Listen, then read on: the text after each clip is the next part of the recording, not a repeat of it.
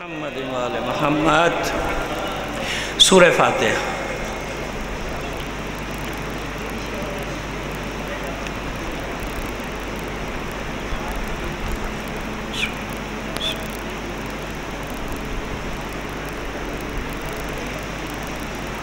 اعوذ باللہ من الشیطان الرجیم۔ بسم اللہ الرحمن الرحیم۔ الحمد للہ رب العالمین۔ الصلاة والسلام علی اشرف الانبیاء والمرسلین سیدنا و نبینا ابی القاسم محمد. وعلہ الطیبین الطاہرین المعصومین ولعنت اللہ علی آدائہم اجمعین من الان الى قیام یوم الدین اما بعد، فقد قال الله تعالى في كتابه المبين، وهو أصدق القائلين وقوله الحق. بسم الله الرحمن الرحيم ولقد باسنا في كل أمة رسولا أن اعبدوا الله واجتنبوا الطاغوت. صلوات بھیجیے محمد علی محمد پر. آپ سے درخواست کروں گا اپنے تمام مرحومین کے لیے جن کے نام لے گئے ان کے لیے اور تمام شہداء ملت کو شامل کر کے ایک سورہ فاتحہ پڑھ کر بخش دیجیے گا. بسم اللہ. الرحمن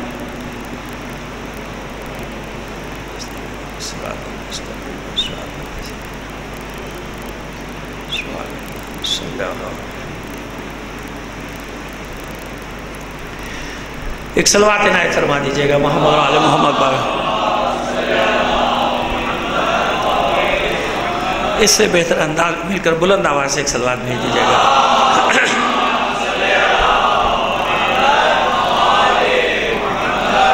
عیزان محترم، ویسے تو کل ہم مجلس پڑھ چکے، دو لیکن بہرحال یہاں اس سلسلے کی پہلی مجلس ہے۔ اور جو ہم نے آیت کی تلاوت کا شرف حاصل کیا آپ کے سامنے، سورہ نحل کی سینتیسویں آیت۔ وَلَقَدْ بَاسْنَا فِي كُلِّ أُمَّةٍ کوئی امت ایسی نہیں جس میں ہم نے رسول نہیں بھیجا۔ کوئی امت، یہ قرآن مجید کا دعویٰ ہے۔ یعنی پروردگار عالم ارشاد فرما رہا ہے کہ کوئی امت ایسی نہیں جس میں ہم نے رسول نہیں بھیجا۔ اچھا پیغمبروں، رسولوں اور انبیاء کی ذمہ داریاں بہت ساری بتائی گئی۔ یوزکیم و یعلمہم الکتاب والحکمہ، مختلف جگہوں میں مختلف تعبیرات ہیں۔ لیکن اس آیت میں خاص طور سے دو دعوتوں کا ذکر ہے۔ محور جو ہیں وہ دو چیزیں۔ کیونکہ تمام انبیاء کا ذکر ہے نا، وَلَقَدْ بَاسْنَا فِي كُلِّ أُمَّةٍ رَسُولًا۔ ہم نے تمام رسولوں کو جو بھیجا، تو محور دو چیزیں ان سب کی۔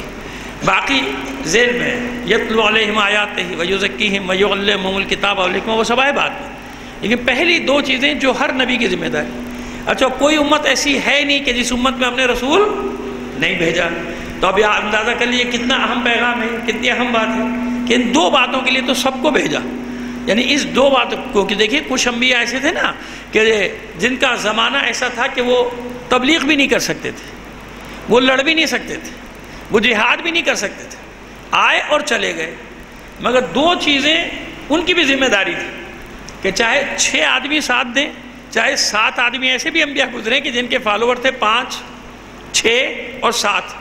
اب آپ اندازہ لگائیے کہ آج جب ایمان والے پریشان ہوتے ہیں کہ ہماری تعداد کم ہے، ہمارا ساتھ دینے والے لوگ نہیں، خدا کے بندو، اللہ نے پہلے انبیاء کو ایسا مثالیں بنا کے آپ کے سامنے رکھ دیں کہ کبھی کسی زمانے میں گھبرانا مت، قلت پہ مت گھبراؤ۔ یہ دیکھو کہ اپنے موقف پہ صحیح ہو یا نہیں ہو، اپنے عقیدے میں صحیح ہو یا نہیں ہو یہ معیار یہ قرآن مجید ارشاد فرما ہے، دو ذمہ داریاں سب کو دے کر بھیجا۔ وہ دو ذمہ داریاں کون سی ہیں؟ اتفاق سے خوش قسمتی ہم سب کی کہ شب قدر میں بیٹھے ہیں اور ساری رات انشاءاللہ مومنین اعمال کریں گے۔ کیوں کریں گے؟ تاکہ ایک دوسرے کے لیے دعا کریں۔ اور ایک اور بھی وجہ ہے جو میں بعد میں بتاؤں گا کہ کیوں آج کی شب جاگنا ضروری ہے؟ کچھ بھی نہیں کر سکتا نا انسان۔ دیکھیے، اگر بالکل خالص نیت کے ساتھ دو رکعت نماز ہی پڑھ لے گا نا آج کی رات۔ اور سورہ قدر بھی تسبیح پہ پڑھتا رہے بس سورہ قدر۔ تو میں آپ کو بتاؤں گا کہ سورہ قدر میں کیا کیا کمالات چھپے ہوئے بھئی یہ الگ بات ہے کہ ٹھیک ہے آپ سو رکعت پڑھیں، چاہے آپ قضائے عمری پڑھیں، چھ دن کی قضائے عمری پڑھیں، آپ دعائے جوشن کبیر پڑھیں، آپ دعائے جوشن صغیر پڑھیں، آپ دعائے کمیل پڑھیں، سب معصومین نے اتنا ذخیرہ دیا کہ بھئی جتنا حاصل کر سکتے ہو اتنا ضرور حاصل کرو شب قدر میں۔ بد نصیب ہے وہ شخص جس کو شب قدر ملے اور شب قدر سے کوئی بھی فائدہ نہ اٹھا سکے۔ یہ روایات میں کہ بد نصیب ہے پھر۔ اس کو کچھ نہیں، اس کے اس سے بڑا کوئی بد نصیب نہیں ہے۔ اور میں بتا بھی دوں گا، دلیل دوں گا ابھی کہ کیوں؟ کیا راز اس میں چھپے ہوئے ہیں شب قدر میں؟ لیکن پہلی بات، شب قدر ہے اور عبادت کی رات ہے اور ہمارا موضوع بھی اتفاق سے جس آیہ کریمہ کیا ہم نے سرنام کلام جس کو ہم نے قرار دیا، اس میں یہی ہے کہ ہم نے کوئی امت ایسی نہیں جس میں رسول نہیں بھیجا، ہر امت میں رسول بھیجا ہے۔ کیوں بھیجا؟ ان عبد اللہ بجتنب التاغوت ہر نبی کی یہ دو ذمہ داریاں تو ہیں۔ ایک کیا ہے، کیا پیغام دینا ہے؟ کہ میری عبادت کرو۔ ان عبد اللہ یعنی اللہ کی عبادت۔ ایک ذمہ داری یہ ہے۔ ہر نبی کی کیا، کوئی امت نہیں جس میں نبی نہیں بھیجا۔ دو دعوتیں سب کا محور ہے کیا محور ہے؟ پہلا محور کیا ہے؟ ان عبد اللہ۔ اللہ کے سوا کسی کی عبادت نہیں کرنا۔ اللہ کی عبادت کرو۔ دوسرا حصہ کیا ہے؟ وجتنب التاغوت لوگوں کو یہ سبق دیتے رہو کہ تاغوت سے دور رہنا یعنی تاغوت کا کبھی ساتھ نہیں دینا۔ ابھی سادہ سا بتا دیتے مانا، پھر تفصیل میں جائیں گے۔ ظالم کا ساتھ نہ دینا، سرکشوں کا ساتھ نہ دینا غاسبوں کا ساتھ نہ دینا، لٹیروں کا ساتھ نہ دینا۔ ڈاکوؤں کا ساتھ نہ دینا، اس تاغوت میں اتنی چیزیں ہیں شامل کہ جب تفصیل سے بیان کرتے چلے جائیں گے تو آپ کو معلوم ہوا کہ تاغوت کی اصطلاح قرآن مجید میں کیوں استعمال کی۔ اس سے جامع کوئی اصطلاح نہیں ہے۔ تاغوت ضروری نہیں کہ حاکم وقت ہو، تاغوت ضروری نہیں کہ بادشاہ ہو، تاغوت گھر میں بھی ہو سکتا ہے، تاغوت محلے میں بھی ہو سکتا ہے، تاغوت مسجد میں بھی ہو سکتا ہے، تاغوت امام بارگاہ میں بھی ہو سکتا ہے۔ جناب، کیوں؟ کیوں نہیں ہو سکتا؟ ہوتا ہے نا کہ جو چاہے کہ مولا کی بارگاہ میں اپنی مرضی چلائے بجائے مولا کے بھئی یہ بارگاہ کس کی ہے؟ کس کے لیے بنائی گئی ہے؟ ایسے ہی ہے نا؟ تو میں نے اس لیے وضاحت کر دی۔ حالانکہ لوگوں کو میرے یہ جملے بڑے برے لگتے ہیں، میں کہتا بھی اس لیے کہ برے لگے۔ نہ بلائیں مجھے، ختم ہو گئی بات، اور کیا ہوگا اس سے زیادہ؟ یہی ہوگا نا۔ لیکن بات تو کرنے کی ہے۔ جب آپ دل سے پوچھیں گے تو آپ کو نظر آ جائے کہ ہاں جگہ جگہ ایسا تو ہے۔ تاغوت تو ہر جگہ بیٹھا ہے۔ سرکش تو ہر جگہ بیٹھا ہے۔ جو اللہ کے بجائے اپنی مرضی چلانا چاہتا ہے۔ مولا کی جگہ ہے۔ مسجد اللہ کی جگہ ہے۔ وہاں بھی یہی ہوتا نا۔ بجائے اللہ کی مرضی کی اپنی مرضی چلا رہا ہے۔ اور سارے جھگڑے اسی لیے اپنی مرضیاں چلانے کے لیے تو جھگڑا ہو رہا ہے۔ اگر اللہ کی مرضی ہوتی تو جھگڑا کہاں ہوتا؟ اللہ کی مرضی پہ تو سب راضی تھا، بھائی ٹھیک ہے، اللہ کا حکم کرو، لیکن اپنی کیونکہ مرضی چلانی ہے۔ لہذا مسجد میں بھی بارگاہ امام حسین کی ہے، مولا کی ہے، معصومین کی ہے، اسی کے ایسے ہی ہے نا۔ لیکن چاہتا ہے کہ میری مرضی چلے۔ میری مرضی تو پھر ہو گیا نا۔ تو تاغوت کی تعریف بہت ہے، ابھی میں تفصیل بیان کروں گا۔ اس لیے دو ذمہ داریاں بتائیں کہ تاغوت سے مراد صرف یہ نہ سمجھنا کہ حاکم ہے۔ اسی لیے تاغوت کا لفظ استعمال کیا۔ قرآن مجید میں جگہ جگہ تاغوت کا لفظ استعمال ہوا۔ والذین کفروا اولیاءہم تاغوت آیت الکرسی میں پڑھتے ہیں نا آپ سب بچے بچے کو یاد ہے، جس کو نہیں یاد یاد کرا دو اس کو، آیت الکرسی۔ تو اس میں بھی یہ ہے۔ اور جنہوں نے کفر کیا، جو کافر ہیں، جنہوں نے کافروں کو اپنا سرپرست بنایا والذین کفروا جنہوں نے کفر کیا، ان کے سرپرست کون ہیں؟ ان کے ولی کون ہیں؟ اولیاء کا لفظ ہے نا۔ ان کے اولیاء کون ہیں؟ ان کے اولیاء تاغوت ہیں، تاغوت۔ ہمارے اولیاء کون ہیں؟ جنہیں اللہ نے بنایا ہے۔ اور جنہوں نے کفر کیا، انہوں نے تاغوت کو اپنا ولی بنا لیا۔ یہی ہے نا؟ ولی کا کیا مطلب ہے؟ سرپرست بنانا جو سادہ مانا ہے، وہ سادہ سادہ سا مانا یہ ہے نا ولی بنایا۔ کہ کسی نے یہودیوں کو ولی بنا لیا اپنا، کسی نے نصرانیوں کو ولی بنا لیا اپنا، کسی نے اور کسی کو اپنا ولی بنا لیا۔ ابھی آج کل بنایا ہوا ہے کہ نہیں بنایا ہوا؟ کافروں کو اپنا سرپرست بنا لیا کہ نہیں بنا لیا؟ اس لیے قرآن مجید میں اولیاء مختلف معنی میں آیا۔ انما ولیکم اللہ میں آیا کہ بس، اور کوئی ولی ہے ہی نہیں۔ عالمین میں اور کوئی ولی ہے ہی نہیں سوائے اللہ کے رسول کے اور۔ ارے سیدھا سیدھا سا نام لے دیجیے بس، آیت میں بھی تو چھپا کے رکھا گیا ہے۔ ہے تو وہ یہ چھپایا کیوں ہے آیت میں؟ جہاں مشیت چھپائے کسی کے نام کو تو خدا کے بندو اپنی ٹانگیں نہ اڑایا کرو۔ چھپانے کا مقصد یہ ہے کہ رسول کے بعد پتہ نہیں کس کے ہاتھ کیا لگے گا۔ تو اگر نام ہوتا تو آیات میں تبدیلی کر دیتے کہ نہیں کر دیتے؟ آیات بدلتے نہیں بدلتے، قرآن بدلتے نہ بدلتے، لہذا کچھ ہستیاں ایسی ہونی چاہیے کہ ہمارا نام بے شک نہ آئے مگر اللہ کا کلام محفوظ رہے۔ کیونکہ حفاظت کی ذمہ داری۔ یار، بھائی حفاظت کی ذمہ داری لی ہے نا؟ حفاظت کی ذمہ داری جن ہستیوں نے لی ہے، تو ان کو اپنے نام کی پرواہ تھوڑی۔ یہ الگ بات ہے کہ اللہ ان کے نام کو باقی رکھنے کا، اونچا رکھنے کا ذمہ دار ہے۔ ورفعنا لکا ذکر کی یہ ہماری ذمہ داری ہے کہ ہم آپ کے ذکر کو بلند سے بلند کرتے چلے جائیں گے۔ صلوات بھیج دیجیے محمد علیہ محمد پر۔ اور خدا کا شکر ہے۔ میں بڑا خدا کا شکر ادا کر رہا ہوں کہ میچ پہلے ختم ہو گیا۔ ورنہ میں ہی پڑھ رہا ہوتا، میں ہی سن رہا ہوتا۔ سلوات بھیجیے محمد علیہ محمد پر۔ اب ذرا سا گزارش کروں گا جوانوں سے، بیٹا، تھوڑا تھوڑا آگے آ جائیے ماحول بن جائے گا، مجلس کا بکھرے اچھے نہیں لگتے۔ جو ٹیک لگا کے بیٹھے ہیں، وہ بالکل بیٹھے نہیں، ان کو میں نہیں کہہ رہا۔ ظاہر ہے کہ ان کی کوئی نہ کوئی مجبوری ہوگی، کسی کے کمر میں درد ہے، کسی گھٹنے میں ان کو نہیں کہہ رہا ہوں۔ جو ویسے ہی بیٹھے ہیں بیچ میں تو بھائی آگے آ کے بیٹھے جاؤ بیٹھنا تو ہے۔ یا اگر پیچھے سے نکلنا ہے تو اور بات ہے بھائی۔ ایک سلوات بھیجیے محمد علیہ محمد پر۔ ماشاء اللہ نہیں، اس جملے کا میرے برا مت مانا کیجیے۔ ظاہر ہے، آپ سے میرا ایک لگاؤ ہے، ایک انسیت ہے، اتنے سالوں سے پڑھ رہا ہوں۔ تو اتنا تو حق مجھے دے دیجیے، ایک جملہ کہہ دیا کروں۔ زبان پہ آ جائے تو کیا فرق پڑ جاتا ہے؟ ایک بات پھر سلوات بھیج دیجیے، محمد علیہ محمد پر۔ بات سمجھ میں آ گئی؟ تو بس سیدھا سیدھا نام۔ لیکن اللہ نے نہیں لیا نام۔ کیوں نہیں لیا؟ یہ بدل دیں گے۔ ان کا کیا پتا؟ حدیثوں کا کیا حشر کیا؟ گڑبڑ کی نہیں کی؟ بدل دی کہ نہیں بدل دی حدیثیں کسی کا کہیں لگا دیا، کسی کا کہیں لگا دیا۔ مولا کا قول اٹھا کے کہیں لگا دیا۔ مولا کے لقب کہیں بانٹ دیے۔ بانٹتے پھرو۔ ادھر کمی تھوڑے آنے والی ہے۔ کتنے ہی بانٹو زمانے میں مولا کے خزانے میں کوئی کمی آنے والی نہیں ہے۔ اپنے لیے بھی لقب اختیار کرنے کے لیے محتاج مولا کے ہی ہوگے انہی کے لقب ملیں گے تو ملیں گے، اور کہیں سے تمہیں کچھ ملنے والا بھی نہیں ہے۔ ایسے ہی ہے نا؟ اب آئیے۔ بس دو ذمہ داریاں۔ اب شب قدر ہے، اس حوالے سے بھی آپ کو پیغام دینا ہے، ٹھیک ہے نا؟ اور یہ بھی ہماری، میں نے پھر عرض کیا کہ خوش نصیبی ہے، جس کو شب قدر مل جائے۔ اور بد نصیب ہے وہ شخص جو اس شب قدر کے تھوڑے سے حصے کو بھی حاصل نہ کر پائے۔ لہٰذا اپنا وقت، اپنے بچوں کا وقت یہ سمجھا کے کہ سال بعد آئے گی، کون زندہ ہے، کون نہیں۔ کیوں کیوں اہمیت ہے؟ خاص طور پہ مومنین کے لیے کیوں اہمیت ہے شب قدر کی؟ اب میں ادھر آ رہا ہوں۔ دو ذمہ داریاں ہیں، ہر رسول کی، ہر نبی کی۔ ان عبد اللہ و تنب الطاغوت۔ پہلی ذمہ داری کیا ہے؟ ہر نبی کی، ہر پیغمبر کی، ہر رسول کی کہ لوگوں کو اللہ کی عبادت کی طرف دعوت دو۔ غیر اللہ کی نہیں۔ اور کل میں بازار کی مجلس میں وضاحت کر چکا کہ غیر اللہ کی عبادت کرنے کا مطلب کیا ہے۔ اللہ کی عبادت کا مطلب یہ ہے کہ عبادت اللہ کی مرضی کی ہو۔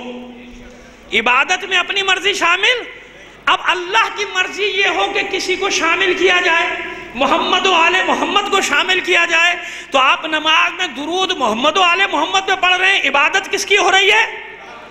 عبادت اللہ کی ہو رہی ہے نا؟ یہ میں نے تفصیل سے کل بتا دیا کہ یہ نہ سمجھے گا جیسے باغ برادران سمجھتے ہیں کہ وہ سوائے اللہ کے کسی کی عبادت نہیں کرنی۔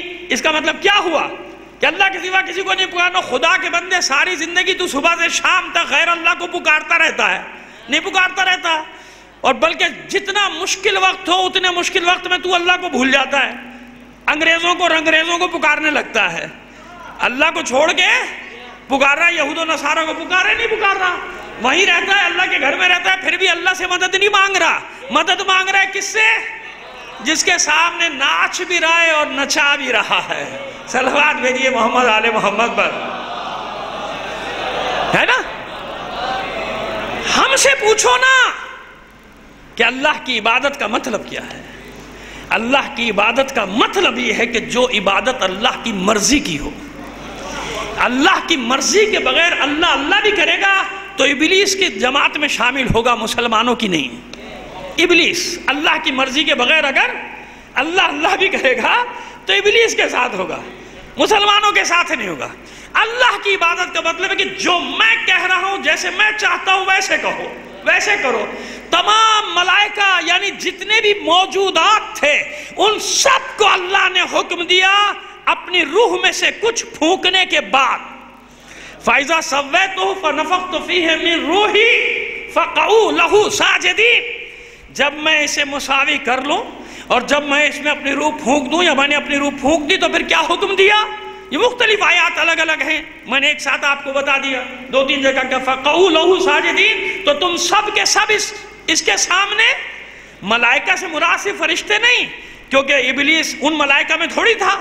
ابلیس تو آگ سے بنا ہوا تھا۔ ملائکہ سے مراد کیا ہے؟ جتنے بھی موجودات۔ ان سب کو اللہ نے حکم دیا۔ کیا حکم دیا؟ فَقَوْلَهُ سَاجِدِينَ ان سب سے حکم دیا کہ سب کے سب سجدہ کرو۔ کسے؟ اپنے آپ کو نہیں کروایا اللہ نے۔ یہ حکم ہے میرا۔ یعنی اللہ کی عبادت کیا ہے؟ کہ اللہ کے حکم کو مانو۔ عبادت یہ ہے کہ جب میں کہہ رہا ہوں آدم کو سجدہ کرو، تو سجدہ کرو۔ ورنہ ابلیس نام ہی قیامت تک کے لیے دشنام بن جائے گا۔ ورنہ ابلیس تو نام ہے۔ یاد بھائی ابلیس تو نام تھا۔ جیسے یزید نام تھا، ہو گیا لانت اللہ علیہ۔ فرعون نام تھا لانت اللہ علیہ ہو گیا۔ نمرود نام تھا لعنت اللہ علیہ ہو گیا۔ ابلیس تو نام تھا۔ لیکن ابلیس قیامت تک کے لیے کسی کو کہہ دیجیے آپ، ابلیس، کتنا ناراض ہو جائے گا؟ ہاں شیطان کہہ دے تو ناراض نہیں ہوتا۔ ابلیس میں ناراض ہو جائے گا، سمجھے گا ابلیس کا معنی بڑا خراب ہے۔ حالانکہ قرآن نے اسی کو شیطان بھی کہا، لیکن شیاطین بھی آیا۔ یعنی شیطان کے بھی بہت سارے ساتھی ہیں جن کو شیاطین کہا گیا۔ آپ دیکھیں کسی کے بچے کو کہہ دیا، آپ کو بچہ بڑا شیطان ہے، ناراض ہوتا ہے کبھی؟ نہیں، ناراض ہوگا، خوش ہوگا۔ ہاں بچپن سے ہی بڑا شیطان ہے۔ جب گہوارے میں تھا جب سے بڑا شیطان ہے، وہ شیطانیاں کرتا ہے، ناراض ہوگا۔ حالانکہ شیطان کس کا نام ہے؟ کس کو کہتے ہیں شیطان؟ ابلیس کو۔ ابلیس کو تو ناراض ہو جائے گا۔ شیطان کو تو ناراض نہیں ہوتا۔ بھائی بڑا بڑا بچہ بڑا شیطان ہے۔ ابا شاباشی دیں گے اس کو۔ ہاں بھائی بڑا شیطان ہے میرا بچہ۔ اسی بچے کو کہتے بڑا یزید ہے۔ یہ اللہ کا فیصلہ ہے نا؟ کتنا بڑا فیصلہ ہے؟ اب یہ آپ خود طے کر لیجیے کہ شیطان بڑا ابلیس ہے کہ یزید بڑا ابلیس ہے۔ کہ کسی کے بچے کو شیطان کہو تو ناراض نہیں ہوتا۔ یزید کہہ تو ایک دم کہہ کیوں بھائی میرے بچے کو یزید کیسے کہا؟ کیوں بھائی؟ ابھی تو آپ تیار تھے یزید کو امیر المومنین بنانے پہ۔ ابھی تو آپ تیار تھے کہ خلیفت المسلمین ہے۔ ابھی آپ تیار تھے یزید رضی اللہ تعالیٰ عنہ کہنے کے اوپر۔ تو ابھی آپ اپنے بچے کو ہم نے آپ کے کہہ دیا، یزید تو آپ ناراض ہو گئے۔ تو یہ کیا ہے؟ یہ قدرت کے فیصلے ہیں۔ یہ قدرت کے فیصلے کہ کن ناموں کو کون سا گریڈ دینا ہے۔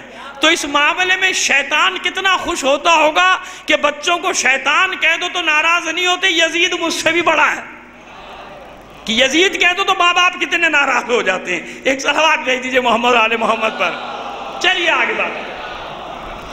یہ اتنا سا خلاصہ ضروری تھا، ان عبد اللہ کا کہ یہ بات سمجھ میں آ جائے کہ اللہ کے سوا کسی کی عبادت نہیں کرنی، اور اللہ کی عبادت کا مفہوم یہ ہے کہ جیسے اللہ چاہتا ہے ویسے عبادت۔ اپنی مرضی کے لیے۔ تمام ملائکہ نے سجدہ کیا، کیوں؟ کیونکہ اللہ کا حکم ہے نا۔ اللہ حکم دے رہا یہی عبادت ہے۔ اللہ کے حکم کو ماننا ہی تو عبادت ہے۔ کرو سجدہ آدم کو۔ میں کہہ رہا ہوں، اللہ کہہ رہا ہے۔ ابا وستکبرا وکانا من الکافرین سب نے سجدہ کیا؟ اللہ ابلیس، سوائے ابلیس کے۔ سب نے سجدہ کیا۔ ابا وستکبرا انکار کیا اور مستقبر ہو گیا۔ تکبر میں مبتلا ہو گیا۔ وکانا من الکافرین اور کافرین میں سے ہو گیا۔ آدم کو سجدہ کرنے کا حکم تھا۔ ہم نے کہا ہے سجدہ کرو۔ جناب نوح کو کشتی بنانے کا حکم دیا۔ کس نے حکم دیا؟ اللہ نے حکم دیا۔ جناب نوح نے بنانا شروع کر دیا اللہ کے حکم سے کشتی۔ سفینہ سفینہ تن نجات بنایا نا۔ کہ جو اس میں سوار ہوگا وہ بچے گا۔ بھئی بچانے والی اللہ کی ذات ہے، یہ سفینہ کیا کرے گا؟ لیکن اللہ فرما رہا ہے کہ نہیں، میرا حکم ہے۔ اب جو آپ کے ساتھ اس کار خیر میں حصہ لے گا، وہ عبادت کرے گا۔ تو پانچ، سات، بیس، پچیس، تیس، پینتیس سے لے کے اسی افراد جو مدد کر رہے تھے، وہ نوح کی مدد نہیں کر رہے تھے، وہ ظاہراً نوح کی مدد کر رہے تھے، در حقیقت وہ اللہ کے حکم پر عمل کر رہے تھے۔ یعنی کشتی بنانا عبادت ہو گیا اور کچھ لوگ تھے جو اس کام سے روک رہے تھے کہ کشتی نہیں بنانے دیں گے۔ یہی کرتے تھے نا۔ روزانہ کے توڑ جاتے تھے۔ روزانہ کے غلازت پھینک جاتے تھے۔ سب کام کرتے تھے کہ نہیں کرتے تھے۔ تو یہ ہمیشہ کا دستور رہا۔ جب بھی آپ اللہ کی مرضی کی عبادت کریں گے، جس سے اللہ راضی ہوگا، تو جتنی شیطانی طاقتیں ہیں، ہر وہ عبادت کرنے سے آپ کو روکیں گے جس سے اللہ خوش ہوتا ہے۔ سمجھ میں آ گیا؟ یہ اشارہ تھا جو کاش پہنچ گیا ہو کہ کیوں دنیا آپ کی دشمن ہے اور کیا کیا روکنا چاہتی ہے؟ آپ سے کہ یہ نہ کرو، یہ نہ، بھائی ہم کر رہے ہیں، تمہیں کیا پریشانی ہے؟ ہم عبادت کر رہے ہیں، آپ کو کیا پریشانی ہے؟ لیکن جناب نوح سے ہر نبی کی مثال دیتا چلا جاؤں گا، حتیٰ کہ قاتل کا پتہ چلانا تھا، پروردگار ویسے ہی وہی کر دیتا، جناب موسیٰ کو یہ قاتل ہے بھائی۔ سورہ بقرہ، نام ہی بقرہ ہے۔ کیوں بقرہ ہے بھائی؟ اس میں گائے کا تذکرہ ہے۔ ایسے ہی ہے نا؟ سورہ بقرہ ڈھائی پارے کا سورہ ہے۔ شب قدر میں سورہ بقرہ دیکھ کے بھی پڑھ سکتے ہیں۔ تو ایسا ہوتا ہے نا کبھی کبھی کہ سورہ بقرہ جو بیچارہ کبھی کبھی سال میں ایک بار پڑھتا ہے اور جب اعلان ہو جاتا ہے بعد میں کہ سورہ بقرہ ہو گئی، ختم، بیچارہ ڈیڑھ گھنٹے کھڑا ہوا ہوتا ہے۔ پھر وہ کہتے ہیں، اب اس والی نماز میں سورہ فیل پڑھایا جائے گا، بھاگ جاتا ہے۔ کہ بقرہ اتنی بڑی تھی، فیل پتہ نہیں کتنی بڑی ہوگی، پانچ پارے کی ہوگی، وہ ہاتھی والی اس کا نام ہاتھی ہے نا۔ اب یہ جو نہیں پڑھتے، پڑھاتے ان کے ساتھ یہ مشکل ہوتی ہے۔ لہذا شب قدر اب آئیے یہاں پر آتے۔ لیکن وہ پہلے بات مکمل کر دیں۔ پروردگار وہی کے ذریعے بتا سکتا تھا نا۔ لیکن نہیں کہا، گائے لاؤ۔ کیوں؟ مزاج جانتا ہے۔ اللہ نے خلق کیا ہے نا۔ جانتا ہے بنی اسرائیل ہر کام میں حجت۔ یہ کیوں؟ یہ کیوں؟ یہ کیوں؟ جہاں اپنی مرضی میں کوئی حجت نہیں، جہاں کسی مولوی نے صحیح بات بتانی شروع کی، قیامت آ گئی اس کو۔ پھر دیکھیے آپ کتنے سوالات فٹ پاتوں کے اوپر پڑے ہوئے ہوں گے۔ ہر سوال یہ کیسے کہا، وہ کیسے کہا تو یہ ان کا مزاج بتا رہا ہے قرآن مجید کے تھے کیا ان کی فطرت کیا تھی؟ کس قسم کے لوگ تھے؟ بھئی اللہ نے کہا ہے کہ گائے ذبح کرو۔ اب ان کا یہ تو بڑا مشکل ہو گیا، اتنی مہنگے گئے اچھا بھئی یہ تو آپ نے بتانی نروں کے مادہ ہو۔ اچھا جناب موسیٰ نے کہا بھئی قوم یہ کہہ رہی ہے نروں کے مادہ۔ اچھا چلو بھئی نر ڈھونڈو۔ چلو نر ڈھونڈو۔ اور رنگ تو بتایا نہیں۔ چھوٹی ہو یا بڑی ہو یہ بھی نہیں بتایا۔ اپنے لیے مشکل کھڑی کرتے گئے، کھڑی کرتے گئے، کھڑی کرتے گئے۔ یہاں تک کہ جو ساری صفات، حالانکہ پہلے گائے کاٹ دیتے، ختم ہو گئی تھی بات۔ کہتے تھے، پروردگار نے گائے کا کہا تھا یہ تھوڑی کہا کیسی ہو؟ کمزور بھی کاٹ دیتے تو قبول ہو جاتی نا۔ کیوں؟ جواز تھا نا کہنے کا۔ کہنے کا جواز تھا کہ بھئی اللہ کا حکم آیا تھا، گائے کاٹو۔ ہم نے گائے کاٹ دی، چاہے اب مری تھی، جیسی بھی تھی، کاٹ دی۔ اب خود ہی سوال کرتے گئے، مشکل کھڑے کرتے چلے گئے۔ اب وہ کتنی مہنگی گائے ملی؟ اتنی مہنگی گائے ملے اس غریب آدمی کی گائے تھی جسے اللہ نوازنا چاہتا تھا۔ جسے اللہ جو اپنے ماں باپ کی خدمت کرتا تھا، بلکہ بوڑھی ماں کی خدمت کرتا تھا۔ اللہ نے اسی کو نوازا کہ اس ماں کی خدمت کے صدقے میں جنت بھی تیری ہے اور یہ تو جو غریب ہے، اس غریب سے میں تجھے نواز رہا ہوں اور بے نیاز کر رہا ہوں، غنی بنا رہا ہوں۔ جاؤ سلوات بھیج دیجیے محمد، آل محمد پر۔ چلو بھائی، گائے آ گئی، گائے کو ذبح کیا۔ اب اس کی چبڑی یا گوشت کا ٹکڑا لے کر گائے پر مارو۔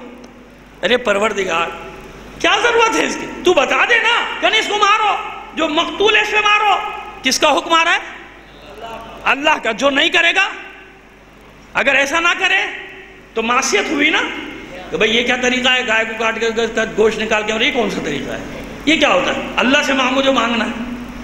شرک ہو جائے گا نا بدت ہو جائے گا، اسی لیے قرآن نے رکھا، معیار رکھا۔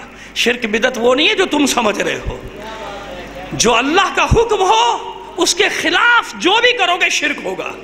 اس کے خلاف جو کرو گے وہ بدت ہوگا۔ جو اللہ کا حکم ہے، وہ شرک بدت نہیں ہوگا۔ اسی لیے سمجھایا جا رہا ہے کہ میرا پیغمبر ہے، ویسے ہی بتا سکتا ہوں۔ اس مردے میں جان ڈال کے یہ بتا سکتا ہے۔ نہیں، اس پہ یہ گائے کے گوشت کا ٹکڑا مارو۔ وہ ٹکڑا مارا، وہ زندہ ہو کے بتا رہا ہے۔ تو پروردگار نے قرآن مجید میں بتایا، کیوں سمجھایا کہ میرے حکم کو دیکھنا، میرے حکم کی اطاعت ہی عبادت ہے۔ میرے حکم کی اطاعت عبادت ہے۔ کس کے ذریعے سے حکم آتے رہے؟ براہ راست نہیں۔ کس کے ذریعے ہے؟ انبیاء کے ذریعے، پیغمبروں کے ذریعے۔ معبود، پیغمبروں کا سلسلہ ختم ہو چکا۔ انبیاء کا سلسلہ ختم ہو چکا۔ رسولوں کا سلسلہ ختم ہو چکا۔ کوئی اور نئی کتاب آنے والی نہیں ہے۔ یہی کتاب جس کی تہتر گروہ اپنی اپنی تفسیر اور تشریح کر رہے ہیں۔ تہتر تو بڑے بڑے فرقے ہیں نا۔ یہ نہ سمجھے گا خالی تہتر ہیں۔ تہتر میں سے ہر ایک کی فرقے فرقیاں الگ ہیں۔ پندرہ پندرہ بیس بیس تیس تیس اور آپ کو حیرت ہوگی، زندگی نے وفا کی تو کبھی پڑھ دیں گے خمسہ یا جب موقع مل گیا پانچ یا دس مجلسوں سے کم میں وہ نہیں نبھے گا۔ آپ کو حیرت ہوگی کہ فرقے فرقیوں کی تعداد ڈھائی ہزار ہے۔ کتنی ہے؟ ذمہ داری سے کہہ رہا ہوں، میرے الفاظ ریکارڈ ہو رہے ہیں۔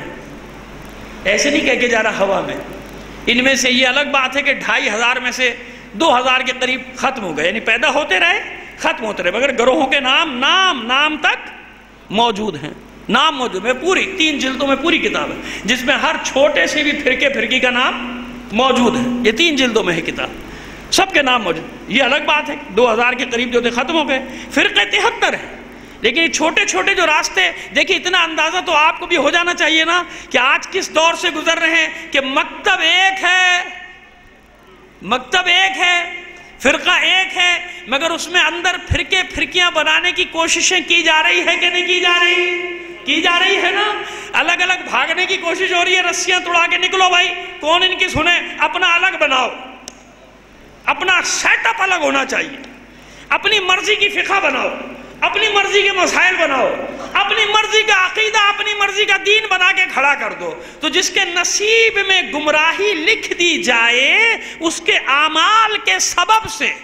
اسی کے لیے قرآن مجید میں جا بجا ارشاد ہوا، یہدی من یشا ویذل من یشا جسے چاہتا ہے اللہ، اس کے اعمال کی وجہ سے ہدایت کر دیتا ہے، اور جسے چاہتا ہے، اس کے اعمال کی وجہ سے گمراہی میں پھینک دیتا ہے۔ اور یہ زمانہ تو بڑی تیزی سے بڑھ رہا ہے نا آگے۔ آگے بڑھ رہا ہے زمانہ تیزی سے۔ امام کا ظہور قریب ہے۔ کتنا قریب مجھے نہیں معلوم۔ کوئی زمانے کا تعین نہیں کر سکتا۔ علامات ظاہر ہونا شروع ہو گئی نشانیاں آنا شروع ہو گئی سب سے بڑی دو علامتیں سامنے ہیں۔ ایک شام کی تباہی، ایک یمنیوں کا قیام۔ یہ سب یہ یاد رکھیے گا کہ یہ دو نشانیاں ان میں کوئی اختلاف نہیں، تہتر فرقوں میں کوئی اختلاف نہیں۔ ان دو نشانیوں میں۔ تو اس کا مطلب قریب ہے نا زمانہ؟ تو جب قریب ہے زمانہ، تو چھانٹی ہوگی کہ نہیں ہوگی؟ ہر ایرا غیرہ نتھو خیرہ امام کا سپاہی تھوڑی بن جائے گا۔ اپنے عمال کی وجہ سے چھلنی میں چھانا جائے گا اور ایسا ویسا بھی نہیں چھانا جائے گا۔ مٹھی بھر بچیں گے۔ کیا مطلب مٹھی بھر؟ یہ سات ارب کی دنیا میں اگر ایک کروڑ بھی باقی بچ گئے، پچاس لاکھ بھی باقی بچے، پچیس لاکھ کا بھی لشکر ہوا، تو دنیا کی آبادی کے مقابلے میں تو مٹھی بھری ہوا نا۔ لہذا چھاٹی ہوگی۔ جن کی نقاب منافقت کی چہروں پہ پڑی ہوں گی، ان کو ہٹنا ہے، ان کو دور ہونا ہے، جو خالص اپنے امام کے انتظار میں زندگی گزار رہا ہوگا۔ کتنی ہی طرف سے حملہ ہو، چاہے اندرونی طور پہ حملہ ہو، چاہے نظریاتی طور پہ حملہ ہو، وہ ثابت قدمی کے ساتھ میدان میں ڈٹا رہے گا، کھڑا رہے گا کہ یہ سب وہی نشانیاں ہیں کہ میرا امام آنے والا ہے۔ وہ نہیں گھبرائے گا۔ وہ کبھی بھی نہیں گھبرائے گا۔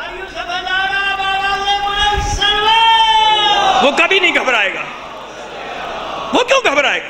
اسے معلوم ہے کہ یہ ہونا ہے آخری زمانے میں۔ فتنے سر اٹھائیں گے، مسجدوں سے سر اٹھائیں گے۔ مقدس جگہوں سے فتنے سر اٹھائیں گے۔ اسے معلوم ہے، فتنے اٹھائیں گے۔ جب خانہ کعبہ سے مکہ اور مدینے سے اٹھ سکتا ہے تو میں اور آپ کیا بیچتے؟ ہیں؟ وہاں سے اٹھ رہے نہیں اٹھ رہے فتنے؟ پہلے نہیں اٹھے، اب بھی اٹھ رہے فتنے۔ تو جب فتنے وہاں سے اٹھ سکتے ہیں تو ہم اور آپ کیا؟ یہ تو اللہ کا وعدہ ہے کہ ایسا تو ہوگا۔ آئیے۔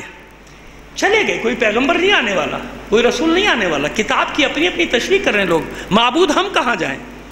ہم کہاں جائیں؟ آئیے اب شب قدر پہ میں آ گیا۔ پروردگار ہم کہاں جائیں؟ کیوں؟ سورہ قدر نہیں پڑھی تم نے؟ تمہیں معلوم نہیں کہ ان طاق راتوں میں سے ایک رات میں نے مخصوص کی ہے تمہارے لیے خاص طور پہ۔ خاص طور پہ مومنین کے لیے مخصوص کی ہے۔ بسم اللہ الرحمن الرحیم۔ ان انزلناہ فی لیلت القدر اور یہ ہے کیا نازل ہونے والے یہ تو چیز بتاتے ہیں آپ کہ کیا کیا اس کی تفسیریں ہیں۔ لیکن ابھی سیدھا سیدھا پڑھ لیجیے۔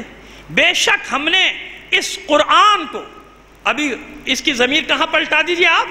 قرآن کی طرف۔ انا انزلناہ فی لیلت ہم نے اس قرآن کو شب قدر میں نازل کیا۔ وما ادراک ما لیلت القدر تمہیں کیا معلوم لیلت القدر کیا ہے اور آج تک نہیں معلوم؟ اللہ کے رسول کو تو معلوم تھی۔ اللہ کے رسول نے اپنی زندگی میں جتنی بھی شب قدر ہیں گزاری ہیں، اس سے بھی لوگوں کو نہیں پتا چلا کہ اصل شب قدر ہے کون سی۔ حضور تو سترہ سے شروع ہوتے تھے، سترہ، انیس، اکیس، تیئیس، پچیس، ستائیس، چھپا لیا نا۔ وما ادراک ما لیلت القدر۔ تمہیں کیا معلوم لیلت القدر کیا ہے؟ لیلت القدر خیر من الف شہر یہ شب قدر ہزار مہینوں سے افضل ہے۔ ایک رات ایک رات، عدالت کی ایک رات، عدل کی ایک رات، انصاف کی ایک رات، بنو میہ کے ہزار مہینوں کی حکومت سے اچھی ہے۔ یہ اشارے ایک رات عدالت کی، ایک رات۔ اور اللہ کا وعدہ کیا ہے؟ بتاتا بھی چلا جاؤں آپ کو۔ کہ جب حضور سے بار بار یہ آخری زمانے کی نشانیاں بتاتا تھا اللہ کا حبیب، اللہ کا رسول، تو صحابہ کرام سوال کرتے تھے نا بار بار کیسا ہوگا؟ واقعی ایسا ہوگا؟ یہ اتنی ساری نشانیاں ڈیڑھ سو سے زیادہ علامتیں ہیں، ان میں سے کچھ حتمی ہیں، کچھ غیر حتمی ہیں علامتیں ایمان کے ظہور کی۔ تو اتنی ساری علامتیں، تو جانتے ہیں اللہ کے رسول نے کیا جواب دیا؟ کیا اگر دنیا ختم ہونے میں ایک رات بھی باقی رہ گئی، ایک رات بھی باقی رہ گئی۔ تو اللہ ساری علامتوں کو ایک رات میں ظاہر کرے گا اور ہمارے قائم کا قیام ہوگا۔ یہ ہے ایک رات۔ ایک رات یہ ہے کہ اگر ایک رات بھی دنیا کے ختم ہونے میں رہ گئی تو اس ایک رات میں پروردگار زمین ہموار کر دے گا یعنی ساری علامت ایک ساتھ، اور ہمارا قائم قیام کرے گا، ہمارا قائم ظہور کرے گا۔ وما ادراکا ما لیلت القدر، تمہیں معلوم ہی نہیں ہے لیلت القدر ہے کیا؟ لیلت القدر خیر من الف شہر۔ اس میں ہوتا کیا ہے؟ اصل بات اس پہ کرنی ہے مجھے، آگے والے حصے میں۔ تنزل الملائکت والروح فیہا بِإِذْنِ رَبِّهِمْ مِنْ كُلِّ عَمْرُ اب یہ آج کی رات کا تحفہ آپ کے لیے۔ تاکہ دل جمعی کے ساتھ آپ آج شب عبادت کریں، جتنی آپ کی ہمت ہے۔ جہاں تک بالکل ٹھیک طریقے سے دل کے ساتھ کر سکتے ہیں کیجیے تھوڑا سا حصہ۔ اس لیے میں یہ پیش کر رہا ہوں مطلب آپ کے سامنے۔ تنزل الملائکت والروح فیہا۔ اس شب میں ملائکہ بھی آتے ہیں اور روح بھی۔ یہ روح کیا ہے بھائی؟ ملائکہ بھی آتے ہیں اور تنزل الملائکہ تو والروح فیہا۔ روح بھی آتی ہے، کچھ نے کہا روح الامین مراد ہے، لیکن نہیں۔ روح الامین جناب جبرائیل تو ملائکہ میں شامل ہو گئے نا۔ تنزل الملائکہ تو والروح فیہا۔ اس میں روح بھی آتی ہے اور ملائکہ بھی آتی ہے بیزن ربہم، اپنے رب کی اجازت سے آتے ایسے نہیں آتے۔ یہ اللہ کا حکم کہ جاؤ۔ من کل عمر ہر عمر کو لے کر آتے تنزل الملائکت والروح فیہا بیزن ربہم من کل عمر سلام انہیا حتی مطلع الفجر. یہ کیسی رات ہے کہ صبح ہونے تک سلامتی ہی سلامتی ہے. جس کو جو چاہیے لے لو. بس یہ طے ہو گیا. ملائکہ آتے ہیں روح آتی ہے، کیا لے کر آتے ہیں؟ من کل عمر ہر عمر کو کیا تفسیر کرتے ہیں علماء؟ کہ آئندہ سال تک جو کچھ بھی ہونے والا ہے جس کو جو ملنے والا ہے وہ سب اس شب میں آئے گا۔ معبود، کیا ہر انسان اپنی عمر لے کر نہیں آیا؟ کیا وقت طے نہیں ہے موت کا؟ کیا رزق مقدر نہیں ہے؟ نہیں، یہ آیت بتا رہی ہے کہ یہ وہ رات ہے کہ اگر چاہو تو اپنے مقدر کو تبدیل بھی کروا سکتے ہو۔ یہ ایسے نہیں کہہ رہا میں۔ بڑی ذمہ داری سے بات کر رہا ہوں، ورنہ اللہ دعا کا حکم ہی نہیں دیتا۔ کیوں دعا کا حکم دیا جب سب طے ہے تو؟ جب سب کچھ طے ہے، قضاء و قدر کا کتنا بڑا باب ہے الگ ایک۔ قضاء و قدر ہے کیا؟ کچھ چیزیں مقدر ہیں، کچھ چیزیں مشروط ہیں یعنی کچھ چیزیں ہونا ہے۔ اس واقعے کو، اس کے پیچھے حکمت الہی ہے۔ کچھ چیزیں مشروط ہیں۔ مشروط کیا مطلب؟ یہ کام کرو گے تو یہ ہوگا۔ یہ دعا مانگے گا تو یہ ملے گا۔ اس جگہ جائے گا تو دوں گا۔ فلاں جگہ فلاں کام کرے گا تو دوں گا۔ پڑھے گا تو پاس ہوگا۔ نہیں پڑھے گا تو وزیر وزیر کا بیٹا ہے تو ضرور پاس ہو جائے گا۔ سلوات بھیج دیجیے محمد علیہ محمد پر۔ ہاں۔ پھر تو ہو سکتا ہے۔ پھر پاس ہو جائے گا۔ ورنہ پڑھے گا تو پاس ہوگا نا۔ نہیں پڑھے گا تو پاس۔ نہیں ہوگا۔ اور جتنا پڑھے گا، اتنے ہی اچھے نمبروں سے پاس ہوگا۔ رونے کی ضرورت نہیں ہے تینتیس پرسنٹ لے کے۔ یہ پتہ نہیں تینتیس پرسنٹ کس نے رکھے مجھے نہیں معلوم۔ لیکن تینتیس پرسنٹ لے گا تو وہ رو نہیں بھائی۔ بھائی تو نے جو کیا، وہی تیرے سامنے آ گیا۔ ہاں نقل وقل کر کے کوئی تو سے زیادہ لے گیا، پچاس پچپن پرسنٹ تو اب کیا کیا جائے؟ وہ نقل چاہیے۔ اب سارے نقل کرنے والی بیٹھے ہوئے ہمارے اوپر تو۔ اوپر۔ پڑھے لکھے ان کے نوکر ہیں اور جاہل جو ہیں، وہ اکبر بادشاہ ہیں۔ اگر وہ بادشاہ جاہل ہے۔ نو رتن اس کے دنیا کے قابل ترین افراد ہیں۔ تو یہی ہمارے ساتھ ہوتا ہے۔ اسی لیے وہ حکومتیں گئیں اور انشاءاللہ یہی کچھ سامنے نظر آ رہا ہے، آگے جو ہونے والا ہے۔ سلوات بھیج دیجیے محمد علیہ محمد پر۔ کہاں باتیں آ گئی پتہ نہیں کہاں سے یہ باتیں آ جاتی ہیں۔ دماغ میں نہیں کرنا چاہتا، پھر بھی گھس جاتی ہیں خامہ خامہ۔ اخبار اخبار پڑھ لیتا ہوں نا، مشکل یہ ہے کہ نہ پڑھوں تو یہ سب باتیں نہ ہوں مجھ سے۔ لیکن خیر، پس یہ امر آتا ہے۔ کہاں آتا ہے؟ روح بھی آتی ہے اور امر بھی آتا ہے مومنو یہ آج کی رات تمہاری رات ہے۔ لوگوں کو کیا معلوم؟ کسی کو معلوم ہی نہیں۔ لیکن چلو، عبادت تو کرتے ہیں نا لوگ۔ نمازیں تو پڑھ رہے ہیں نا۔ آپ کو کیوں کرنی چاہیے آج کی رات عبادت؟ سنیے، آج کی رات ہے کیا؟ امر بھی آتا ہے۔ ہر امر کو لے کر آتے ہیں ملائکہ اور روح۔ روح اور امر کا رشتہ کیا ہے؟ یہ آج کا تحفہ ہے شب قدر کا آپ کو۔ روح اور امر کا رشتہ کیا ہے؟ آئیے، سورہ بنی اسرائیل میں۔ یسألونکا عن الروح، قل الروح من امر ربی۔ وما اوتیتم من العلم الا قلیلا۔ آپ سے یہ سوال کرتے ہیں روح کے بارے میں۔ دیکھیے، سوال ذہن میں رکھیے گا جو میں نے کہا ہے کہ روح اور امر کا رشتہ رشتہ کیا ہے؟ یہ بتانے جا رہا ہوں۔ یسألونکا عن الروح۔ یہ یہودی آپ سے پوچھتے ہیں روح کے بارے میں کہ روح کیا ہے؟ آپ ان سے کہہ دیجیے، قل الروح من امر ربی۔ آپ ان سے کہہ دیجیے، قل الروح من امر ربی۔ کہ روح تو امر ربی میں سے ہے۔ کل امر ربی نہیں ہے، یاد رکھیے گا۔ امر ربی میں سے، قل الروح من من امر ربی، من تبعیض کے لیے۔ یعنی روح امر ربی میں سے ہے۔ اگر امر ربی میں سے نہ ہو تو بڑا مسئلہ ہو جائے گا۔ کیونکہ قرآن مجید میں جہاں بھی جناب آدم کی خلقت کا ذکر آیا، وہاں کیا آیا؟ نفق تو فی ہے میں روحی۔ تو کل روح نہیں، امر ربی میں سے ایک امر ہے روح۔ کل امر نہیں ہے، اپنی روح میں سے کچھ بھوکا۔ اللہ نے اسی لیے جسم کو موت ہے، روح کو نہیں ہے۔ روح کو کہاں ہے؟ کہتے نا، روح نکل گئی، کہاں نکل گئی؟ کہ پرواز کر گئی۔ قفص انصری سے آزاد ہو گئی، کہاں چلی گئی؟ کہ روح نہیں مری۔ موت کس کو ہوئی ہے؟ جسم کو۔ روح کا سفر جاری ہے، روح نہیں مر سکتی۔ کیوں؟ قل روح من امر ربی۔ ان سے کہہ دیجیے کہ روح امر ربی میں سے ہے۔ یال کل امر ربی نہیں ہے، پھر تکرار کر رہا ہوں۔ امر ربی میں سے ایک امر ہے روح، لیکن اس کی طاقت کیا ہے روح کی؟ روح گندی بھی ہے، روح اچھی بھی ہے۔ کہتے اس میں ابلیس کی روح گھس گئی کہتے اس میں کسی حیوان کی روح گھس گئی۔ ایسے ہی ہے نا؟ ارے اس کی بڑی ناپاک روح ہے، اس کی بڑی اچھی روح ہے۔ ایسی ہے نا؟ یہ بڑی پاک روح ہے بھائی، یہ ملکوتی روح ہے۔ ایسے ہی ہے؟ ناسوتی، لاہوتیاں وہ صوفیہ اور عرفہ کی اپنی اصطلاحات، ان میں ہم نہیں پڑھنا چاہتے۔ لیکن آپ نے دیکھا کتنا بڑا راز ہے۔ کتنا بڑا سوال ہے۔ حالانکہ ارشاد کیا وہ نفق تو فی ہے مر روحی، کیونکہ کل امر نہیں ہے روح، اپنی روح میں سے کچھ بھوکا ہے۔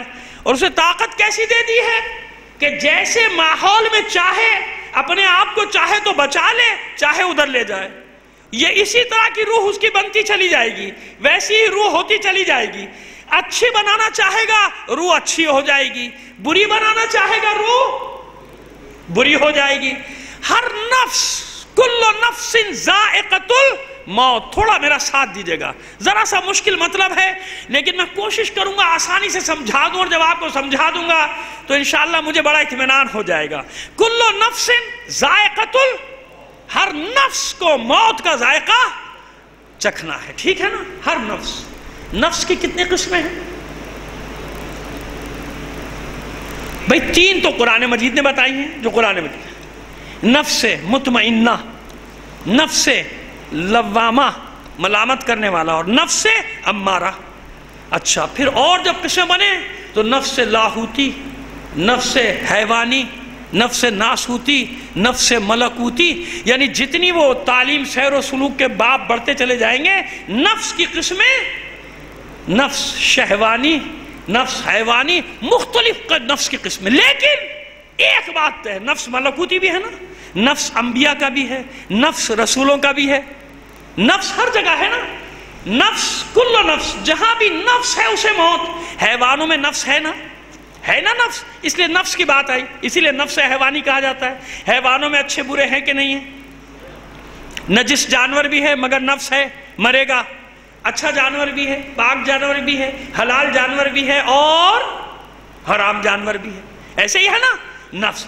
ہر نفس کو کیوں کہا نفس کو شیو کاش ان مطلب کو بھی لوگوں کو بیان کر دیا جاتا، تو اتنی ساری غلط فہمیاں پیدا نہ ہوتی اتنی مشکلات مجھے بیان کرنے میں آپ کو نہ آتی کہ اگر یہ مطالب لوگوں کو بیان کر دی جاتے۔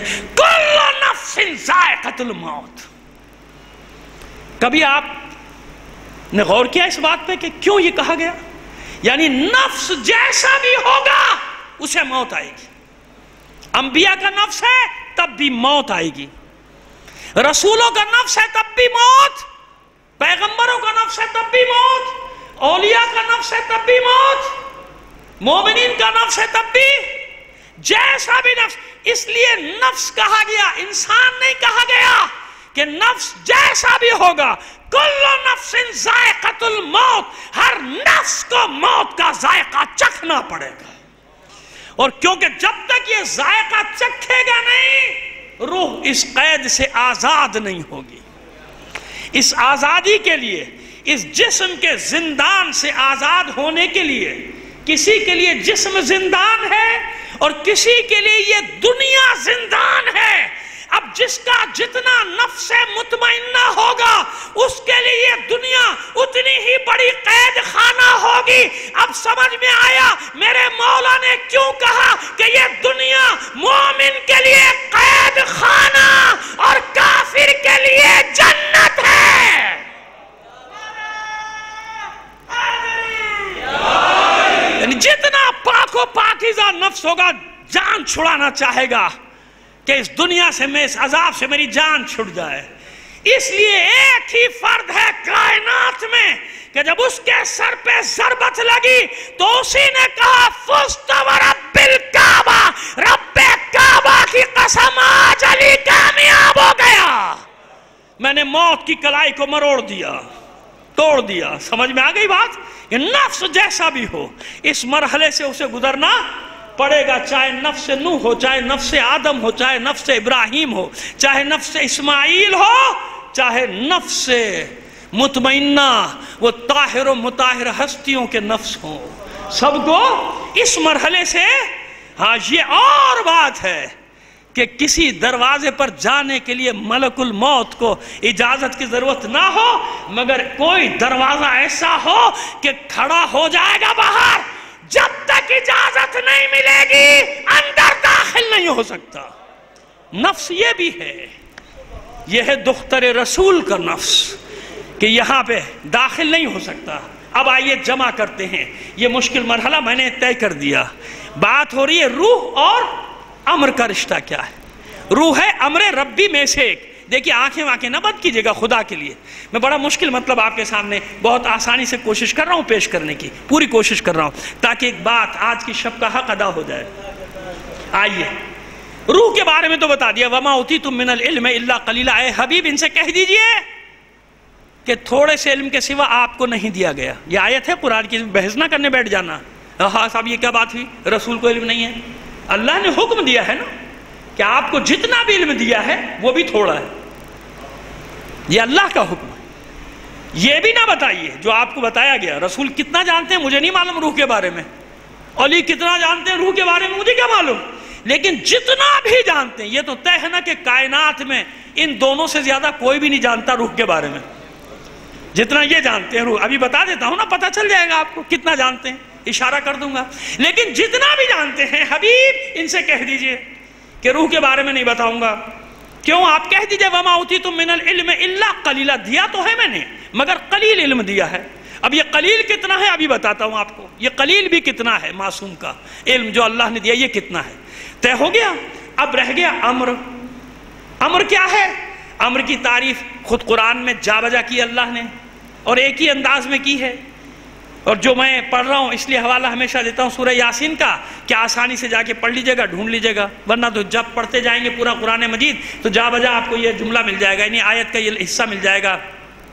انما امرہ اذا ارادہ شیئن ان یقول لہو کن فیکون۔